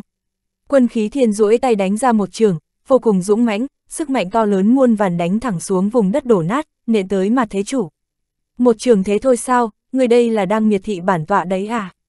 Khắp người ám đế mà thế chủ dâng lên ma quang huyết tế vô tận, hướng ngược lại hư không, đâm vào một trường ấn của quân khí thiên ở cách hư không. Phụt, mà thế chủ bị đánh bay, cơ thể cũng xuất hiện dấu vết dạn nứt, phun ra một ngụm máu tươi lớn. Cả thân thể gã thậm chí còn bị nện tới chỗ sâu bên trong vùng đất đổ nát, như thể nện vũ trụ trời đất thủng ra một cái lỗ lớn. Một màn này khiến cho tất cả mọi người xem đến ngây người. Nếu như mà thế chủ ở vào thời khắc vừa phá phong ấn thì gã đương nhiên sẽ không đến mức chật vật dưới một trường như vậy, chẳng qua trải qua đông hoa đế quân, vô trung đại đế, còn dưới tầng tầng suy yếu của quân vô hối, bây giờ một trưởng của quân khí thiên, không thể nghi ngờ đã khiến cho mà thế chủ liên tiếp gặp nạn. Mà cũng chính vào lúc này, cái khe nứt hư không kia đã hoàn toàn khép lại. Thành công rồi sao? Vô số sinh linh lo sợ bất an, mặc dù bọn họ rất hy vọng mà thế chủ bị đánh chết. Nhưng hình như vẫn quá không có khả năng, dù sao đây cũng chỉ là một trưởng quân khí thiên ở cách không gian vô tận đánh ra mà thôi, tuy rằng mạnh mẽ khôn cùng, nhưng trước sau vẫn không phải chân thân của quân khí thiên giáng lâm. Khổ, khổ, quả nhiên, bóng dáng của mà thế chủ hiện ra, gã của hiện tại cũng có chút chật vật, khắp người đều là máu tươi. Lực huyết tế vốn có màu đỏ tươi đậm đặc cũng mở đi. Một trường của quân khí thiên dù chưa thể hoàn toàn xóa bỏ mà thế chủ nhưng đã lần nữa làm suy yếu lực lượng của mà thế chủ. Từ khi Đông Hoa đế quân hiến tế đầu tiên, cho đến khi vô trung đại đế thông suốt tất cả, đại chiến mà thế chủ.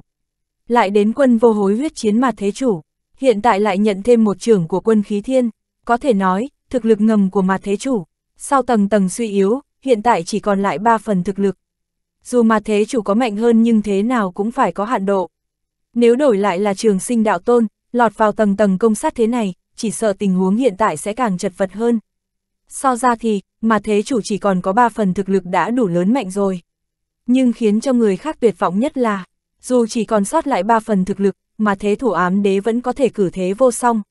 Trừ phi có tồn tại như trường sinh đạo tôn, cũng gia nhập trận doanh đối kháng mà thế chủ này. Không phải trên cơ bản không có ai có thể đánh bại ông ta. Nhưng căn bản bọn trường sinh đạo tôn không thể ra tay. Các thế lực có khả năng khác như tiên đình, địa phủ, thương tộc. Chỉ e sẽ trơ mắt nhìn mà thế chủ cùng quân ra liều mạng. Dù sao thì, đừng nói đến quân tiêu giao, ngay cả quân vô hối cũng là đệ thập cổ kim, có uy hiếp ực lớn với các thế lực tiên vực khác. Các thế lực như tiên vực, địa phủ, thương tộc đều không muốn để cho quân vô hối sống sót. Nhưng bọn họ cũng không thể bốc lên sai lầm lớn mà ra tay với quân vô hối. Thanh danh của kẻ đó sẽ không phải là xấu nữa, mà sẽ bị vạn linh chúng sinh phỉ nhổ đời này qua thế khác. Cho nên, hiện tại, nếu để cho mà thế chủ giết cha con quân vô hối và quân tiêu giao. chương 2065 chạy không khỏi mệnh, Khương Thánh Y hiến tâm chương 2065, chạy không khỏi mệnh, Khương Thánh Y hiến tâm. Không nghi ngờ gì, đây là điều các thế lực bá chủ khác muốn nhìn nhạt Cũng chính vì vậy, bây giờ căn bản sẽ không có thế lực nào chủ động đi đối phó với mặt thế chủ. Mà mặt thế chủ chỉ còn sót lại ba phần thực lực cũng vẫn không ai có thể ngăn cản.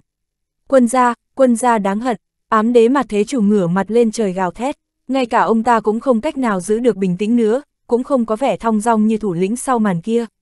Vốn cho rằng phá phong xuất thế, sẽ che phủ trời cao, quét ngang hết thảy, một tay diệt thế. Kết quả, lại bị thương nặng như vậy. Đã như vậy, bổn tọa liền thôn phệ tất cả huyết mạch quân gia ở tiên vực, một người cũng không tha. Ám đế mà thế chủ thực sự phẫn nộ, muốn diệt tuyệt quân gia. Không nghi ngờ gì, đây là điều các thế lực bá chủ khác muốn nhìn thấy nhất. Cho nên, hiện tại, căn bản các thế lực bá chủ khác sẽ không có khả năng ra tay giúp đỡ. Quân gia chỉ có thể dựa vào chính mình, nhưng vào lúc này, quân vô hối thân hình đạp lập, mặc dù áo trắng bị tưới sẫm máu tươi, nhưng thân thể của ông vẫn đâm rách thương thiên lợi kiếm. Thẳng tắp, sắc bén, bất động, ai dám nói bừa hủy diệt quân gia, ngay cả tiên giới cũng không làm dược, huống chi là cái tên mà thế chủ kéo dài hơi tàn này. Mái tóc của quân vô hối tỏa sáng óng ánh, toàn thân ông tỏa sáng hào quang rực rỡ không gì sánh nổi. Phụ thân, quân tiêu giao chấn động tâm thần, hắn tiến lên, muốn đứng cùng quân vô hối. Tiêu giao, đừng tới đây, quân vô hối không quay đầu lại, chỉ nói. Thế nhưng, phụ thân, lòng quân tiêu giao hơi run rẩy ngươi là trụ cột tương lai của quân gia, mục tiêu của ngươi không phải thần thoại, mà là thành tiên. Ngươi muốn ngược dòng tìm hiểu quá khứ của quân gia ta, đuổi theo vứt bỏ bộ phạt của thiên viễn tổ. Tất cả mọi việc đều phải dựa vào ngươi, bây giờ ngươi đã thông suốt hết cả, hy sinh chính mình, là vô trách nhiệm với quân gia, cũng là vô trách nhiệm với người bên cạnh. Quân vô hối không quay đầu lại, nhưng lời nói của ông rất kiên quyết, không có cơ hội cãi lại. Cho nên, tất cả ở đây hãy để cho vi phủ kết thúc. Một tiếng thở dài của quân vô hối rơi xuống, không phải ông chưa từng nghĩ sẽ hưởng phúc thiên luân bên thê tử nhi tử.